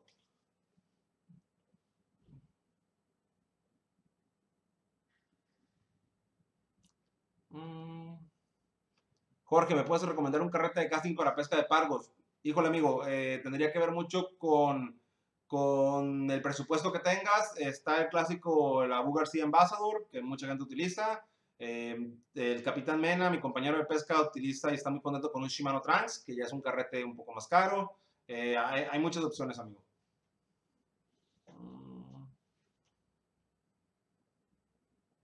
Víctor Leva, ¿qué especies son las que rompen los señuelos de goma? Por lo general los cochitos o las botas o pistolas que les llaman. Eh, por lo general esos, los pargos muy chiquitos también los rompen. Los botetes, los peces globo, también los rompen. Son las especies que por lo general llegan, lo muerden y lo despedazan. El ¿Alguna vez que hayas pescado algo que no sea común en la zona de pescas? Una vez pesqué un pantalón Levi's 501. Eso es bastante, eso es muy poco común. Pero sí, o un pez poco común. Híjole, una vez pesqué un lizard fish. Eh, no, no, no, conozco un nombre local o en español para ellos. Es el pescado más feo que he visto en mi vida. Eh, lizard fish, parece como una lagartija hecha pescado, muy feo. Una vez pesqué uno de esos. Mm. ¿Has usado el carrete Shimano Siena en spinning? ¿Qué tal? Sí, amigos, sí, alguna vez tuve un Shimano Siena. Es muy buen carrete por el precio. Es de los carretes este, que me parece a mí que es muy buen carrete para, para iniciar en este rollo. Eh, tiene muy buena calidad, no es muy caro, muy buena opción.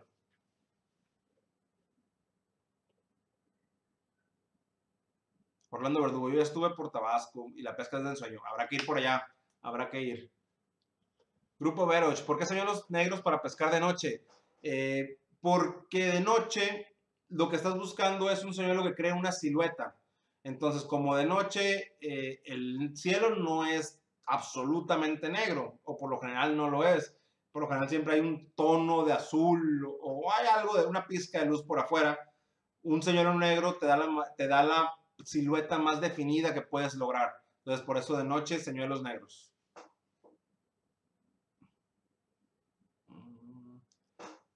Roberto gracias Jorge por responder mis preguntas. Ya podré en práctica tu consejo.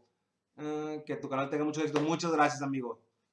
Saludos al Club de Pesca de Tuxtepec, Oaxaca, los pecadictos. Saludos, amigos. Que este 2018 les traiga muy buenas pescas. Mm. ¿Qué libraje sería una línea trenzada del tamaño de un mono de 4 libras? Eh, sin ver una tabla, yo diría que aproximadamente una de 20 libras una trenzada de 20 libras debe tener más o menos el mismo calibre de un monofilamento de 4. Mm. Edu Espinosa, buenas noches a todos. Jorge, gracias por tu opinión sobre los colores. Muchas gracias, amigo. Qué bueno que les haya gustado. Eh, la verdad es que no hago los directos tan seguido, en parte porque digo, bueno, a lo mejor lo que quieren ver es una salida a pescar, no verme aquí sentado nomás hablando pero cada vez que lo hago me quedo muy contento el saber que, les gustan estas cosas y vamos a hacerlas más seguido, amigos. Mm.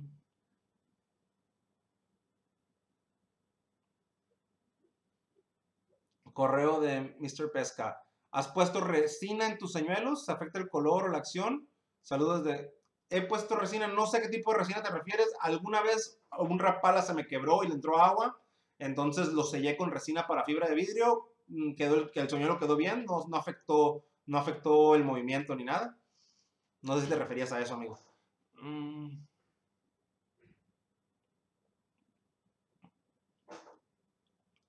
Leandro Villafañe, saludos, saludos de Argentina, saludos Leandro. Víctor Leiva, ¿con qué saqué? ¿Te refieres al Lizardfish? Lo saqué con un Rattling eh, cabeza roja con cuerpo blanco.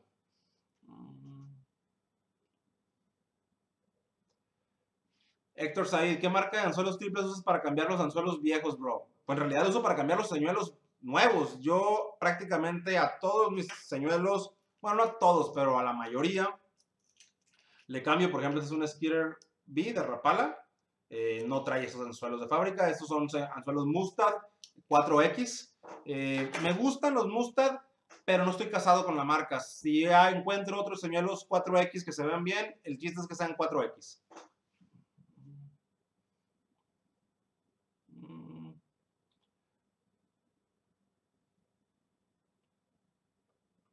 Emanuel Rodríguez Fernández, ¿alguna gira planeada de pesca en lugares de América Latina. Uh, híjole, amigo, Dios te oiga, Dios te oiga, ojalá. Eh, si seguimos creciendo y con su apoyo, esperemos algún día llegar a esos niveles. Eh, con unos buenos patrocinadores, yo creo que podemos llegar a eso y mucho más. Eh, ¿Cuánto va a durar el directo? Híjole, pues iba a durar una hora, pero ya llevamos una hora, una hora con 15 minutos. no sé, yo creo que nos vamos a sacar unos 15 a 20 minutos más. Mm. Omarito, ¿qué tal, Jorge? ¿Qué pasó, Omar? ¿Cómo estás? ¿Dónde andabas, pues? Yo dije, voy, voy a entrar al directo y ahí va a estar el Omar. Y no estabas, güey. Saludos. El Carlos, ¿has pescado en los barcos pesqueros de Topo? ¿Cómo te fue? En los barcos pesqueros, ¿te refieres a los que están atracados ahí en el muelle? Alguna vez hace mucho, pero era cuando no sabía mucho de esto y pescaba con carnadita, con pedacito de camarón. Pues sacamos mucho, mucho, mucha chiruza, como decimos. Eh, mucho parito chiquito, mucho roncachito, mucho cochito. Hay, hay mucho pescado chico ahí. Princesa Montejo, ¿dónde comprar la gorra Fisher King? Mándeme un inbox por el Facebook, ahí, ahí tengo gorras. Mm. ¿Qué opinas o conoces las toninas? ¿Alguna vez has visto algunas? ¿Cómo no, amigo? Eh, Jorge, eh, hay muchas toninas aquí en la Bahía de Topolobampo. O no sé, aquí les llamamos toninas a una especie de, a la especie de delfín que hay aquí. Creo que la diferencia entre la tonina y el, y el delfín nariz de botella, la tonina es más oscura y creo que es un poco más rechoncha pero es una especie también de cetáceo. Eh, aquí hay muchas, eh, las hemos visto muy seguido. De hecho, los pescadores somos los únicos que no queremos a los delfines y las toninas. Nos molestan, nos caen mal, los odiamos. Bueno, no los odiamos, pero, pero por lo general, cuando estás pescando y de repente llegan las toninas, la, la pesca se acabó. No sea porque espantan a la carnada o espantan al pescado en general, pero seguro estás pescando, llegan las toninas y la pesca se calma.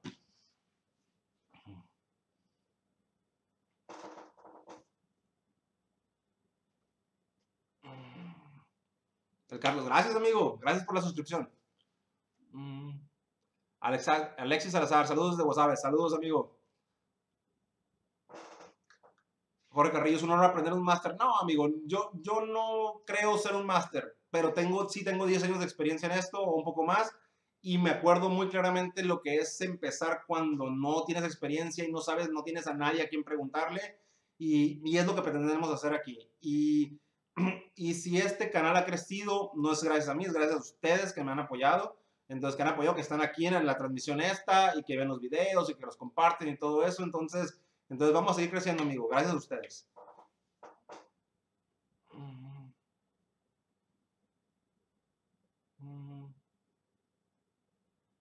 Gracias, gracias por los comentarios, José Luis García. Muchas gracias. ¿Cuántos, Víctor Leiva, cuántos se hunde un señuelo de goma con el aparejo Carolina?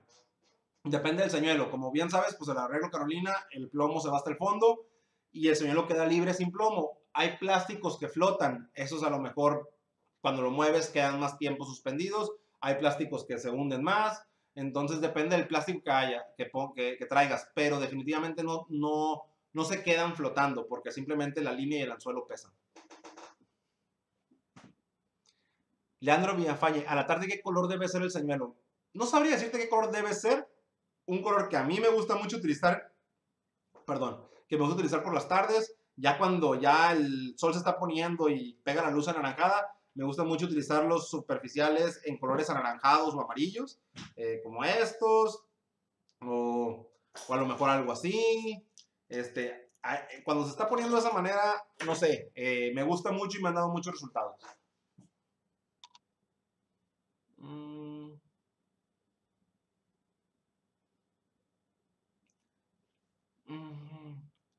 Pequeño gamer, recuerda que dijiste que tal, de que vez en cuando si te agradezco.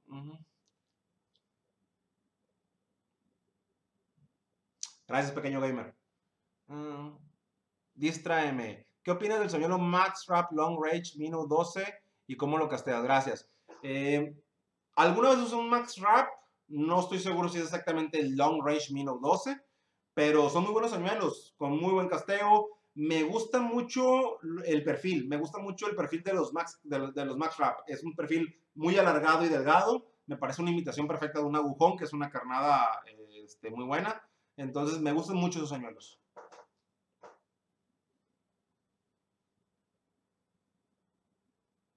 Everardo, en la página de puedes comprar ropa para pescar. Sí, amigo. Ahí tienes su sección de ropa. Hay camisas, y hay, hay, shorts, hay lentes de sol muy buenos. Están, tienen, tienen muy buen surtido de lentes Costa. No olviden utilizar su código de descuento J Pesca si hacen alguna compra. Mm. Emanuel Rodríguez, ¿tú solo liberas o de vez en cuando te comes lo que pescas? Yo libero, yo creo que el 70, 70, 75% de lo que pesco lo libero. Me gusta quedarme con piezas de buen tamaño. Eh, tengo ganas de liberar un animal muy grande. Eh, tengo ganas de pescar un robalo de 8 o 10 kilos y liberarlo. Pero por lo general cualquier pieza de 2 kilos, una cosa así, me las llevo a mi casa o me llevo unas 2 o 3. No me gusta congelar pescado. Si me traigo pescado es para llevarle unos 2 o 3 pescados a mi suegra, que si me está viendo saludos. Eh, y, y, para, y si me llevo para mi casa, lo que me vaya a comer ese mismo día o al día siguiente. No me gusta congelar el pescado. Mm. Mario Hernández, ¿cómo iniciaste en la pesca? Eh, bueno, aquí en la zona que vivimos, pues yo pesqué toda mi vida, me llevaban a pescar de chiquito con mi, con mi línea en mano y mi anzuelo y mi plomito y mi pedacito de camarón y de una manera muy recreativa, ¿no? Pescar toda la vida por ahí de los, cuando tenía como unos 20 años, eh, cuando ya empezó a normalizarse más este rollo del internet, estoy hablando de ya hace bastante tiempo, por ahí del año 2000, una cosa así, no, como del 2004, eh, pues empecé a retomar el rollo de la pesca y teniendo el internet a mi disposición, empecé a buscar cómo pescar más, cómo pescar pescados más grandes. Eh, y empecé a ver todo este rollo de la pesca con señuelos y me empezó a llamar mucho la atención y empecé a investigar, investigar, investigar, eh, hasta que di con un, foro de pesca deportiva que ya no existe, el foro de la pesca deportiva de México, donde hice grandes amistades en este rollo de la pesca. Eh, y fue donde me inicié. Realmente ahí estaba lleno de personas que se tomaron el tiempo para resolver mis dudas y gracias a ellos aprendí a pescar. En parte, ese foro ya no existe. Entonces, en parte, la idea de hacer este canal es en parte hacer un poco eso, pagar con alguien más lo que alguien hizo por mí en su momento, ¿no? Uh, Everardo Lugo, ¿dónde podemos comprar la gorra como la que traes? Everardo, entra a la página de Facebook, ahí, tenemos gorras. Mm, Luis Javier Sánchez, saludos de Costa Rica, saludos amigo. Luisa Noval, ¿no has pescado pelícanos? Sí, sí he pescado pelícanos sin querer. Eh, son muy molestos cuando queremos pescar con superficiales. Eh, hay veces que no dejan pescar, por lo general están cuando hay pesca, entonces no te dejan. Eh, y sí me ha tocado que algunas veces me ganan, no me doy cuenta y, y, se enganchan. Este, pero pues es cuestión de liberarlos y ya. Pero sí, sí, sí me ha tocado. ¿Qué carnada me recomiendas que no sea señuelo? Emanuel Rodríguez. El camarón vivo es la mejor carnada del mundo. No hay un pescado en el mar que no coma camarón. Entonces, bueno, a lo mejor la lisa, qué sé yo, ¿no? Pero no hay un pescado que quieras pescar que no coma camarón en el mar. Entonces, el camarón vivo es la mejor carnada viva que puedes conseguir. Jorge, no subiste el video de los nudos. No lo he subido, amigo. No lo he subido. Lo iba a grabar en la tarde, pero se me presentaron unas cosas y no pude grabarlo. Espero, espero probablemente la próxima semana subirlo. Quiero grabarlo esta semana, editarlo y subirlo la próxima semana.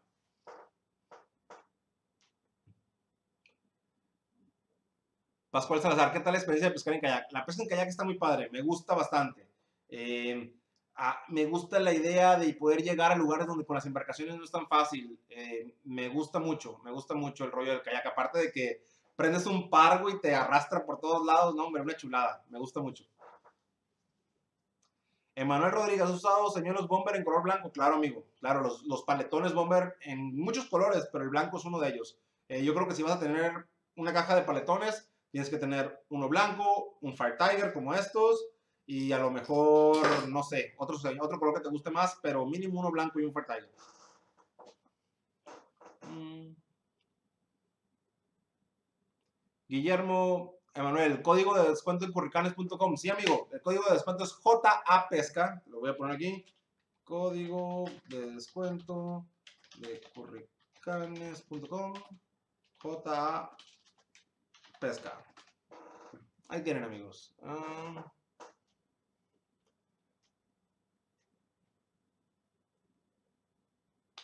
José Manuel, amigo, ¿qué caña tú me recomiendas para iniciar con señuelos artificiales? Depende mucho de la zona donde pesques y del tipo de señuelos que vayas a utilizar o de las especies que vayas a pescar, amigo. Si me dices un poquito más, si vas a pescar de orilla de playa o si vas a pescar en, esteros, en manglares, eh, todo eso te puedo ayudar un poquito más.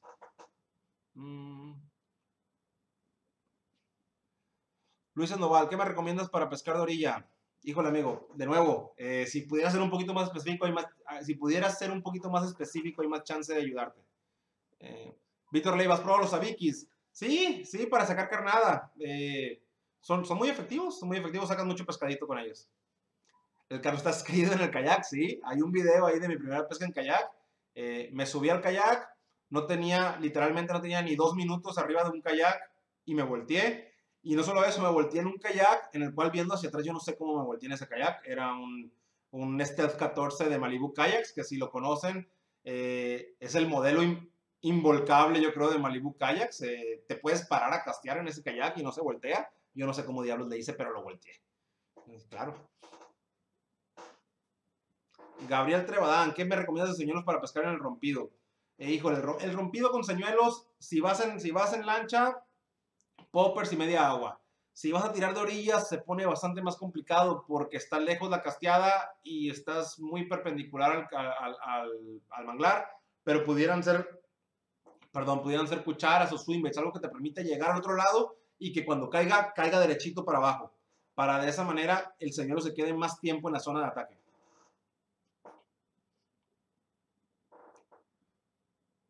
Emanuel Rodríguez, ¿cuánto pesó tu pescado más grande?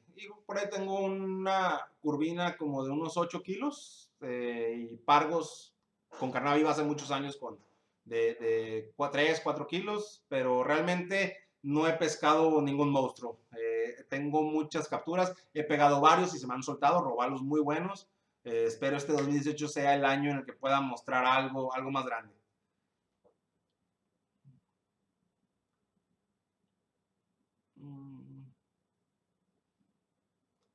Luis Javier Sandy, para pescar en kayak, ¿qué tipo de caña recomiendas? Para, la pesca en kayak no es tan diferente de la pesca en lancha. Obviamente vas casteando sentado y eso cambia un poco. Pero la, decisión de la caña yo creo que va más en función del señuelo que vayas a utilizar, más si vas en kayak o no. Eh, con el señuelo que te sientes, con la caña con la que te sientes cómodo. Lo que sí es que a lo mejor en kayak eh, no tratar de evitar cañas con los mangos demasiado largos, porque, porque con como los mangos son demasiado largos, la caña la tienes que trabajar acá arriba y un mango largo te puede estorbar por acá. De ahí en fuera yo creo que la que más se adicue al señuelo que vas a utilizar. Mm.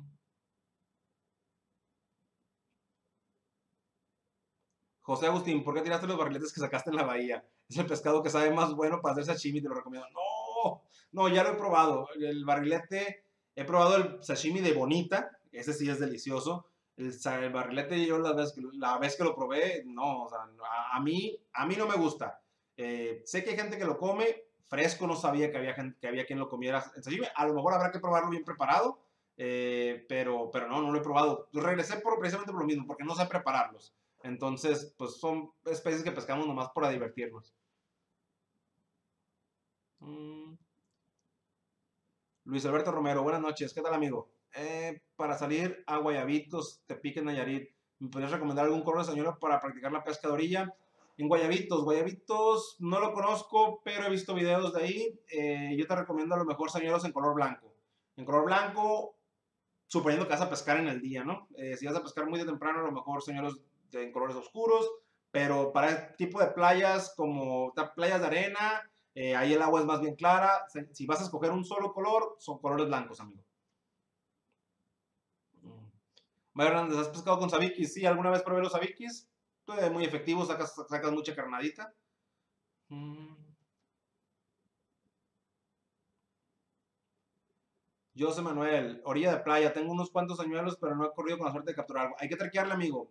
Yo te platico, cuando empecé a pescar, eh, ya hace como 12 años o 13 años, que me puse en la mente, tengo que pescar con señuelos y voy a pescar con señuelos, y no tenía quien me enseñara, todo era cosas que leía en internet me tardé bastante, me tardé yo creo que unos tres meses yendo a pescar y tiraba señuelos y luego me enfadaba y cambiaba carnada y porque pensaba que no iba a sacar nada y así. Me tardé como tres meses para lograr mi primera captura con, con señuelos. Eh, iba con mi amigo Hugo Palafox, eh, dueño, fabricante de Surfox. Eh, hicimos pininos en la pesca juntos y ahí le tocó él, y sí, mi primera captura de señuelo, un pargo, me acuerdo, con un, con un minnow de bomber segmentado, cabeza roja. Pero sí, pero sí, terqueale, amigo. Todo es cuestión de terquearle. Que entre más terqueas, entre... Las salidas en blanco no son salidas desperdiciadas. Cada vez que vas a pescar y no sacas nada, aprendes qué es lo que no debes de hacer. Entonces hay que aprender de todo lo que hacemos en la pesca. Ay, híjole, estoy poniendo ronco. mm, Leandro Minafaya, ¿alguna vez te cusió un bagre? ¿Te cusió? Mm, suena medio albur, amigo. Eh, me imagino que dices que si me picó alguna vez, un, aquí les decimos chihuilis, los bagres de agua salada que son que tienen espinas venenosas. No, no, gracias a Dios, nunca me ha, agarrado uno. Em, suelo tener mucho cuidado cuando llego pues, a agarrar uno, porque me han contado las historias de que duele muchísimo y que pega fiebre y todo eso. Mm.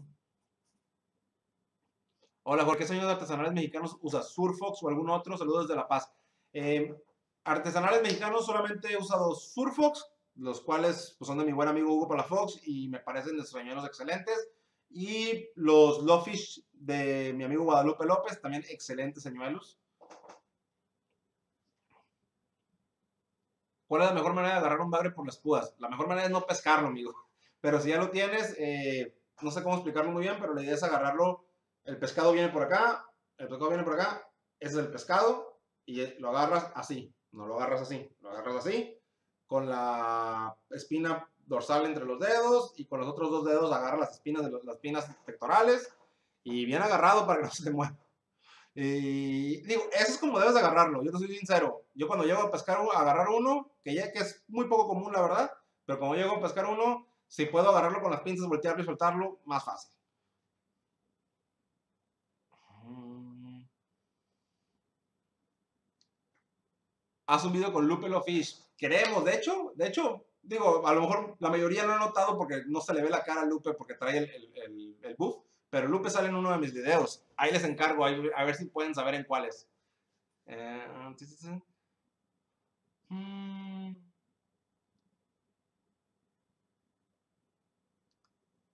¿Haces pesca en la noche o no es recomendable? Tengo muchos años que no pesco de noche. Solía ir a pescar de noche y siempre me pasaba algo. O, o me caía y me doblaba el tobillo, o se me ponchaba la camioneta y me tenía que, se me, una vez se me ponchó la camioneta y quise cambiar la llanta y barrí el, tornillo de la llanta y tuve que esperar a que viniera una camioneta al servicio de llantera, no hombre. Entonces dejé, y por lo general no pescaba nada, entonces dejé de ir a pescar de noche, pero eh, por ahí de febrero o marzo se pone bien la pesca aquí en la bahía de noche y ahorita que andamos con este rollo del YouTube, yo creo que vamos a hacer una pedida, una salida a pescar de noche. Eh, también me freno un poco porque pues de noche no puedo grabar mucho. Pero si hay una salida de pesca de noche que sea en la zona de los muelles, donde hay iluminación, a lo mejor podemos hacer un video ahí.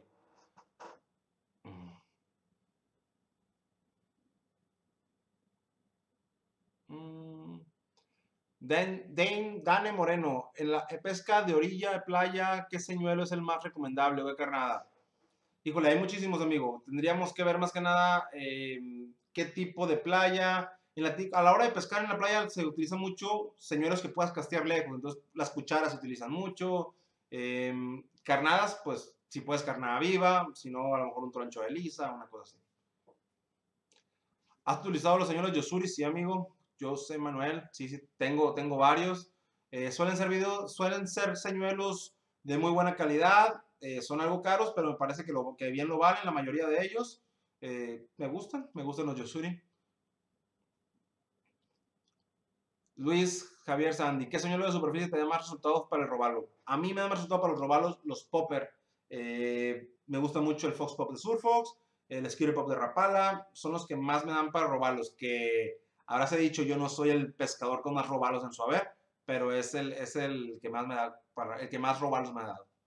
Mm. Luis Sandoval. Saludos para mi amigo Gael, Gael Ruiz y Luis Sandoval. Saludos amigos. ¿Qué peces puedo sacar este mes desde el muelle, Víctor Leiva? Híjole, desde el muelle, con un poco de suerte, un buen pargo. Este, hay curvinas en estas fechas. Eh, obviamente, el asunto de pescar desde el muelle con señuelos, pues se torna un poco complicado porque no cubres mucha agua, pero eso es lo que hay. ¿Alguna vez te clavaste un anzuelo muy fuerte? Sí, me he clavado una vez en la mano y otra vez en la pierna Este, anzuelos que tengo que, que he tenido que se clavan y pues, sacaron totalmente hacia adentro, entonces hay que sacarlos por el otro lado, cortarlos y sacarlos. Eh, me ha tocado dos veces, duele mucho, duele mucho, no se los recomiendo, pero pues son gajes del oficio. Cuando vas a pescar tan seguido, eventualmente va a suceder. Mm. ¿Qué es lo mejor para sacar curvinas? Por lo general para las curvinas se utilizan mucho los plásticos, los swing baits en blanco, eh, las cucharas, los jigs. Eh, por lo general lo que más se pesca es, la manera en la que se suelen pescar las curvinas. ¿Cuál es el pez que te ha dado más batalla para sacarlo? Mm, pargos grandes, pescados con carnada viva. No, mentiras, falsedades. Barriletes, los barriletes, porque me ha tocado pescarlos con, con, equipo muy ligero. Este, barriletes grandecitos, como los que vieron en el video pasado y otros que sacamos hace mucho, eh, son los que me han dejado más cansado.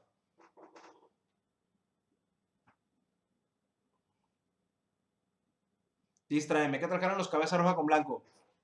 Es una de las combinaciones clásicas de la pesca y es por algo, entonces es una combinación muy efectiva. Eh, yo creo que todos deberíamos de tener cuando menos un cabeza roja con blanco, pero como dije hace rato, eh, la cuestión de los colores no hay que clavarse mucho en ellos, es más importante la forma del señuelo, la acción del señuelo, dónde trabaja el señuelo, todo eso. El color es importante, pero también hay otras cosas más importantes.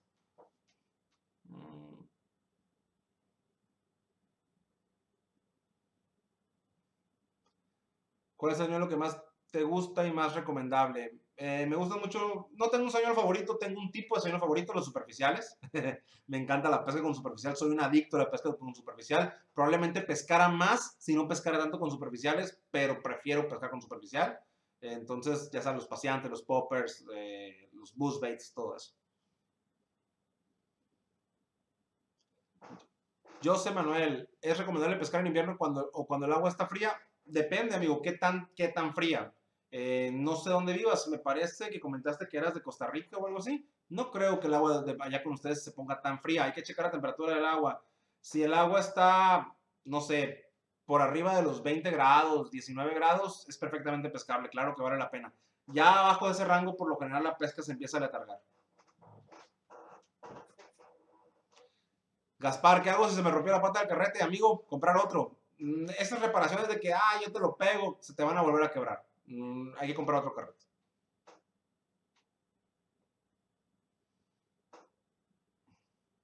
Eduardo Guzmán, ¿cuándo volverás a transmitir en vivo y qué tema explicarás? Híjole, amigo, no lo sé, no lo sé. Dejen en los comentarios, amigo. Ustedes me ayudan mucho. Si ustedes en los comentarios de los videos eh, me dejan que, las dudas que tienen o de qué temas quieren que hablemos, me dan ideas para hacer nuevos videos o para temas que discutir en las transmisiones en vivo.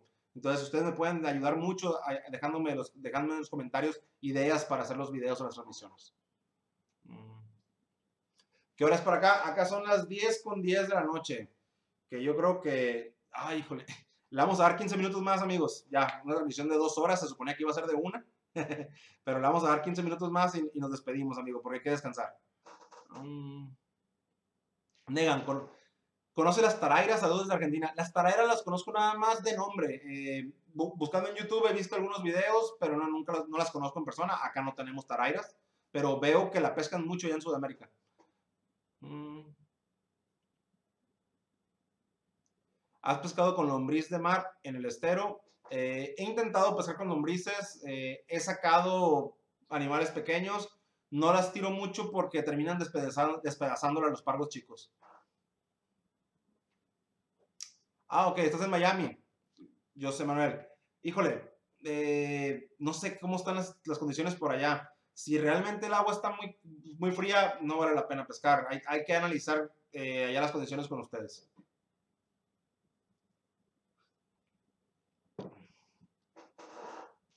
Kevin Lop, ¿qué marca de línea recomiendas? Saludos desde Vallarta.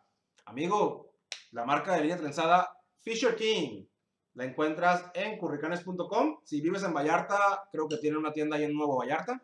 Eh, ahí la encuentras. Es la línea trenzada que yo utilizo. Es la línea trenzada que tengo utilizando desde hace ya bastante tiempo. Excelente calidad. Eh, la puedes comprar en curricanes.com.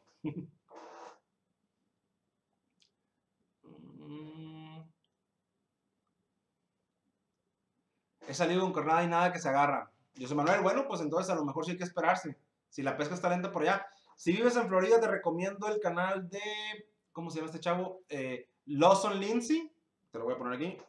Lawson Lindsay. Él tiene un canal de pesca inshore ahí en Florida. Eh, él va a pescar y le va muy bien. Sacó unos, señores robalos. Este, chécalo, chécalo. Él pesca ahí en Florida. Mm.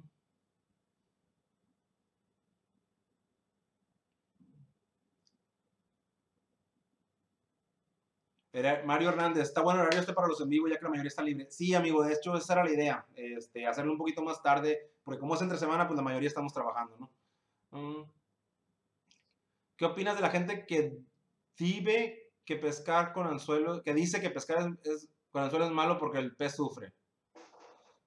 Hay que estar conscientes que cuando pescamos el pescado sufre. Si, si según tú lo que quieres no lastimar pescado, no pesques. Eh, yo no tengo ningún problema con lastimar pescado.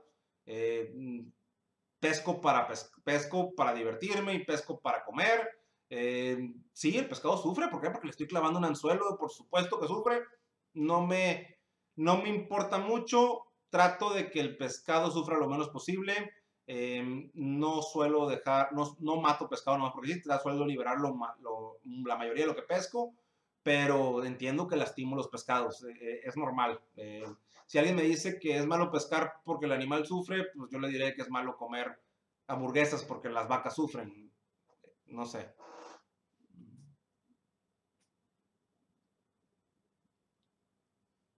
Mm. El Carlos, ¿qué pez es tu sueño pescar? Lo, lo dije hace rato, mi pesca soñada es pescar pavones en Sudamérica. Puedes googlearlos como pavones o como peacock bass. Esa es mi, sueña, esa es mi pesca soñada. Espero hacerla algún día.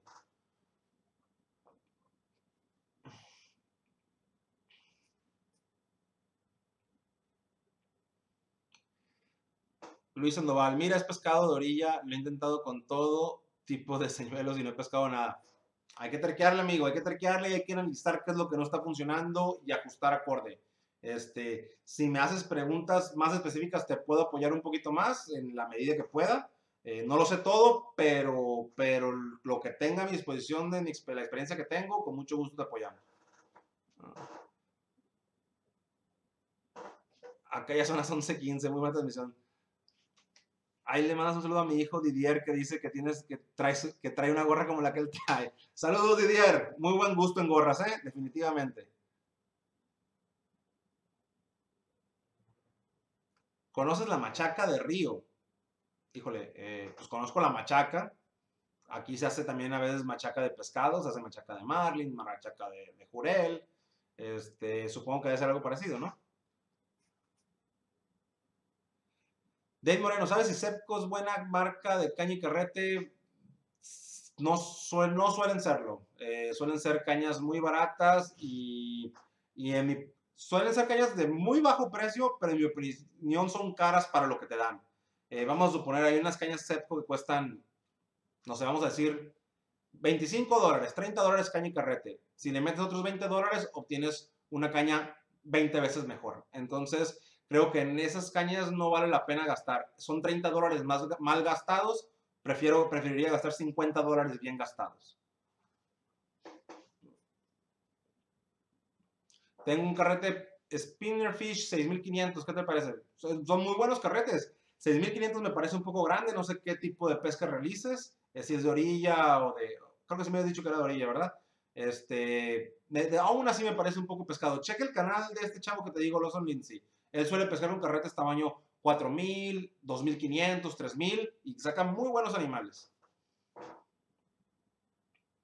¿Qué pez te ha dado más satisfacción?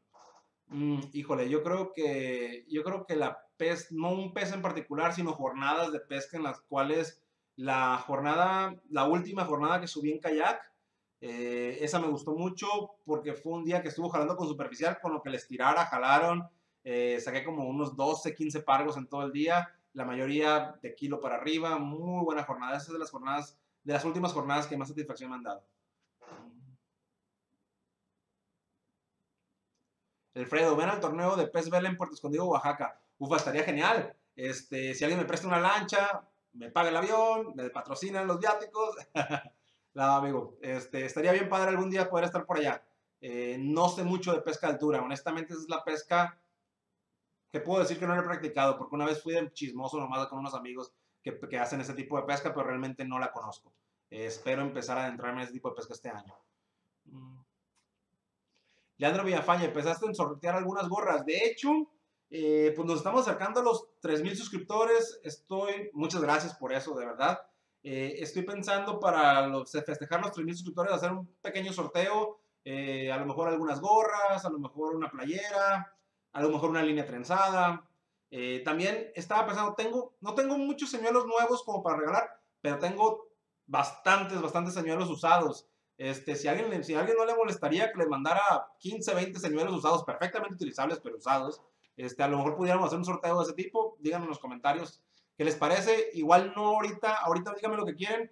Ahorita aquí díganme si les parece bien, pero en el próximo video que suba, si me lo vuelven a decir, mejor para que a lo mejor las personas que no vieron la transmisión puedan ver esos comentarios y también decir si les interesa o no.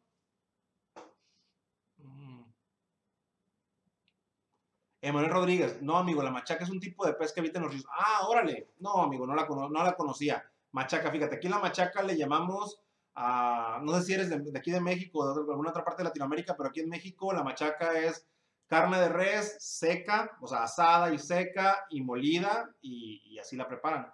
Órale, todos los días aprende algo nuevo. Distra, ¿tienes algún video de cómo quitar el salitre de los carretes, Jorge? No tengo ningún video de mantenimiento, pero siempre que llegues de pescar, enjuágalos con agua dulce, nomás pega el manguerazo. Si ya tiene mucho tiempo, hay que abrirlo, hay que lavarlo con gasolina blanca, con gasolina, eh, limpiarlo todo y engrasar otra vez los engranes y volver a cerrar. Ah, Carlos 44, salúdame. Saludos, Carlos 44. 44. Saludos, amigo. Ya no tengo agua. Fabsar, la lancha va incluida en la inscripción para cuatro tripulantes. Ah, sí, bueno, suena, un poco interesante. Ya suena más interesante. Este, habría que ver cuándo es el torneo ese. George B, colores básicos para los señuelos. Amigo, ya dimos toda esa información al principio de la transmisión. Eh, te recomiendo, ya que se acaba de transmisión, eh, se va a subir el video, se va a subir la repetición de la misma como un video más de YouTube. Chécala, por favor. Ahí hablamos un poquito al principio de los colores, de la teoría básica del color en cuanto a señuelos se refiere.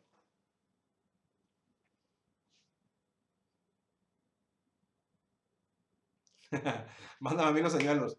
Yo creo que vamos a hacer a lo mejor una especie de sorteo de concurso eh, a través de la página de Facebook no sé, que compartan el canal, se suscriban y a lo mejor la publicación que tenga más likes, algo así se me va a ocurrir, pero vamos a hacer algo y vamos a, vamos a regalar esos señuelos. El, el, carrete Pen Fierce 800, yo creo que te refieres que dices 8000. Eh, como para qué tipo de pesca es, lo usaba para surf y quedaba rendido. Sí, está muy 8000 es grandísimo. Eh, yo creo que un 8000 sería más para, para jigging, amigo, para hacer pesca vertical. Eh, sí, la verdad sí, porque por lo general para surf, eh, 6000 ya se me hace pesadito. Por lo general, a lo mejor un 5000 sería lo ideal. Mm.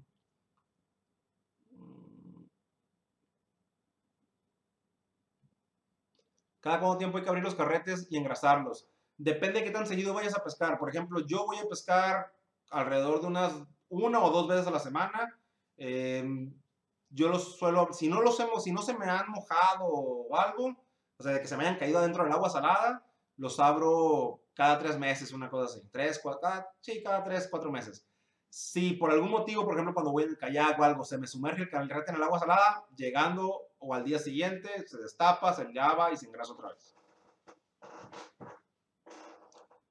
Fabsar, empiezan en julio los torneos. Ok, me agrada. Hay chance de, a lo mejor, de a lo mejor planear algo, hay tiempo. No aseguro nada porque pues no me queda tan cerca, pero si dices que la lancha va incluida, a lo mejor se puede hacer algo.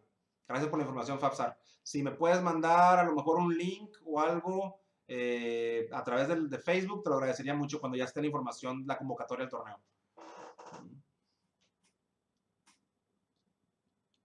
Eduardo Guzmán, me parece excelente los señores Silgor. Así es, amigos. Si ya el ganador, pues se lo mando por estafeta. Yo pago el envío, no hay problema. Este, para el, para el ganador del sorteo, eso no sería problema.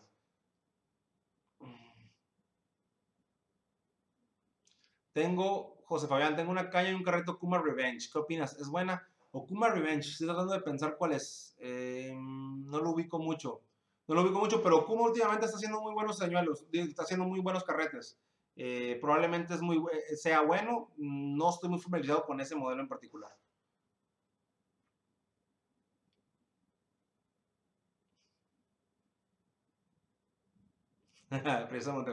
Mi esposo me regaló mi caña y capturó más que él. ¿Suele pasar? ¿Suele pasar? Qué bueno. Qué bueno. Me, agrada la idea que les llame la idea, que les llame la atención y que no les importaría recibir señuelos usados. Este, tengo, tengo bastante, yo creo que si les pudiera mandar, mandar a lo mejor un paquetito de unos 15, 20 señuelos. Eh, vamos, vamos viendo a ver cómo lo hacemos.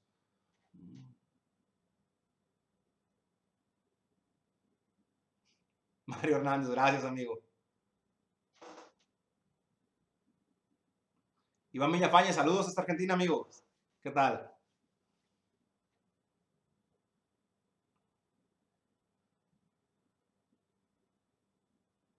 carrete Rapala Santa Cruz 5000. Eh, yo alguna vez lo tuve en tamaño 3000. Es buen carrete, es buen carrete. Eh, eh, no tengo nada malo que decir.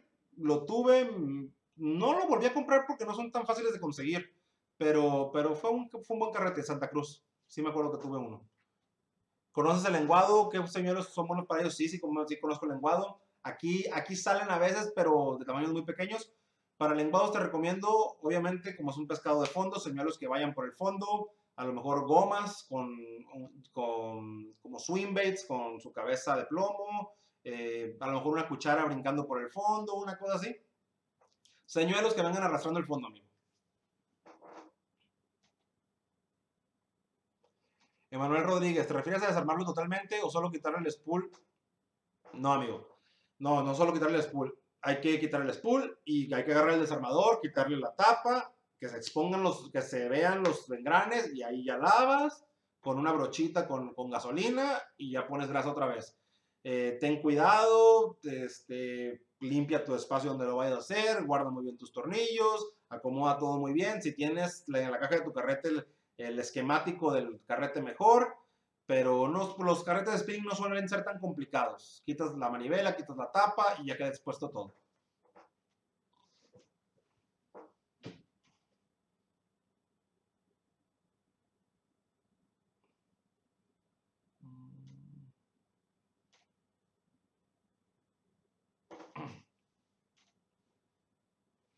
Miguel Caro, los curricanes usados ya saben cómo pescar. Tú sí sabes, amigo. Tú sabes. Y esos saben y saben muy bien. Pascual, ¿cómo entro al torteo? Em, no sé, todavía no estoy muy enterado, no, he decidido más bien cómo le vamos a hacer, pero yo creo que vamos a hacer la convocatoria a través de la página de Facebook. Entren a facebook.com diagonal Jorge Costa Pesca, denle like a la página, compártanla y en los próximos días vamos a ver, a ver qué dinámica hacemos. A lo mejor pedimos que nos compartan una foto de pesca, y a través de los, y el que tenga más likes, o hacemos un simple sorteo, no sé, vamos a ver qué se nos ocurre. A lo mejor podemos hacer dos premios, uno para el que tenga más likes y otro sorteado para que haya oportunidad de que lo ganen. Vamos, vamos a ver, vamos a ver. Mm. José Luis García, ¿has probado los carretes Bait Feeder? Híjole, no los he probado. Si mal no recuerdo, creo que alguna vez vi una publicación que son los que... Eh, bait Feeder, me imagino que son para pescar un carnada viva, una cosa así. Vaya, miento, no, no tengo idea, eh, pero, pero no, no los he utilizado.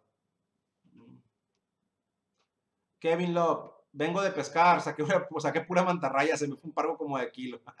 así pasa, amigo, así pasa, ni modo. Peor es no sacar nada. Leandro Villafaya, ¿qué kayak me recomiendas? No estoy familiarizado con todas las marcas, pero yo si me comprara un kayak mañana, probablemente me comprara un X Factor de Malibu Kayaks. Eh, de los que he probado, he probado varios, varios kayaks de, la, de Malibu Kayaks y algunos de Ocean Kayaks. Es el que más me ha gustado.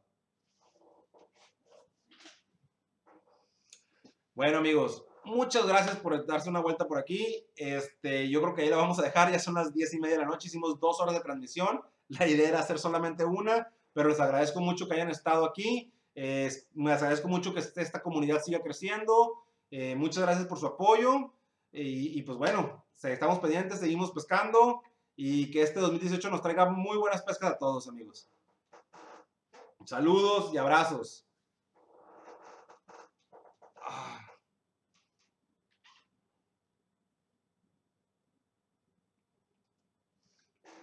Saludos amigos, pendientes.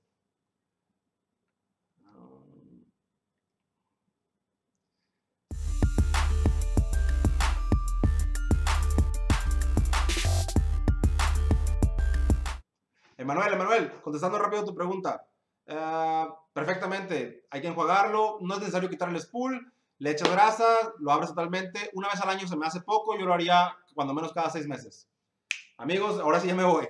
Buenas noches. Muchas gracias. El video de los nudos queda pendiente.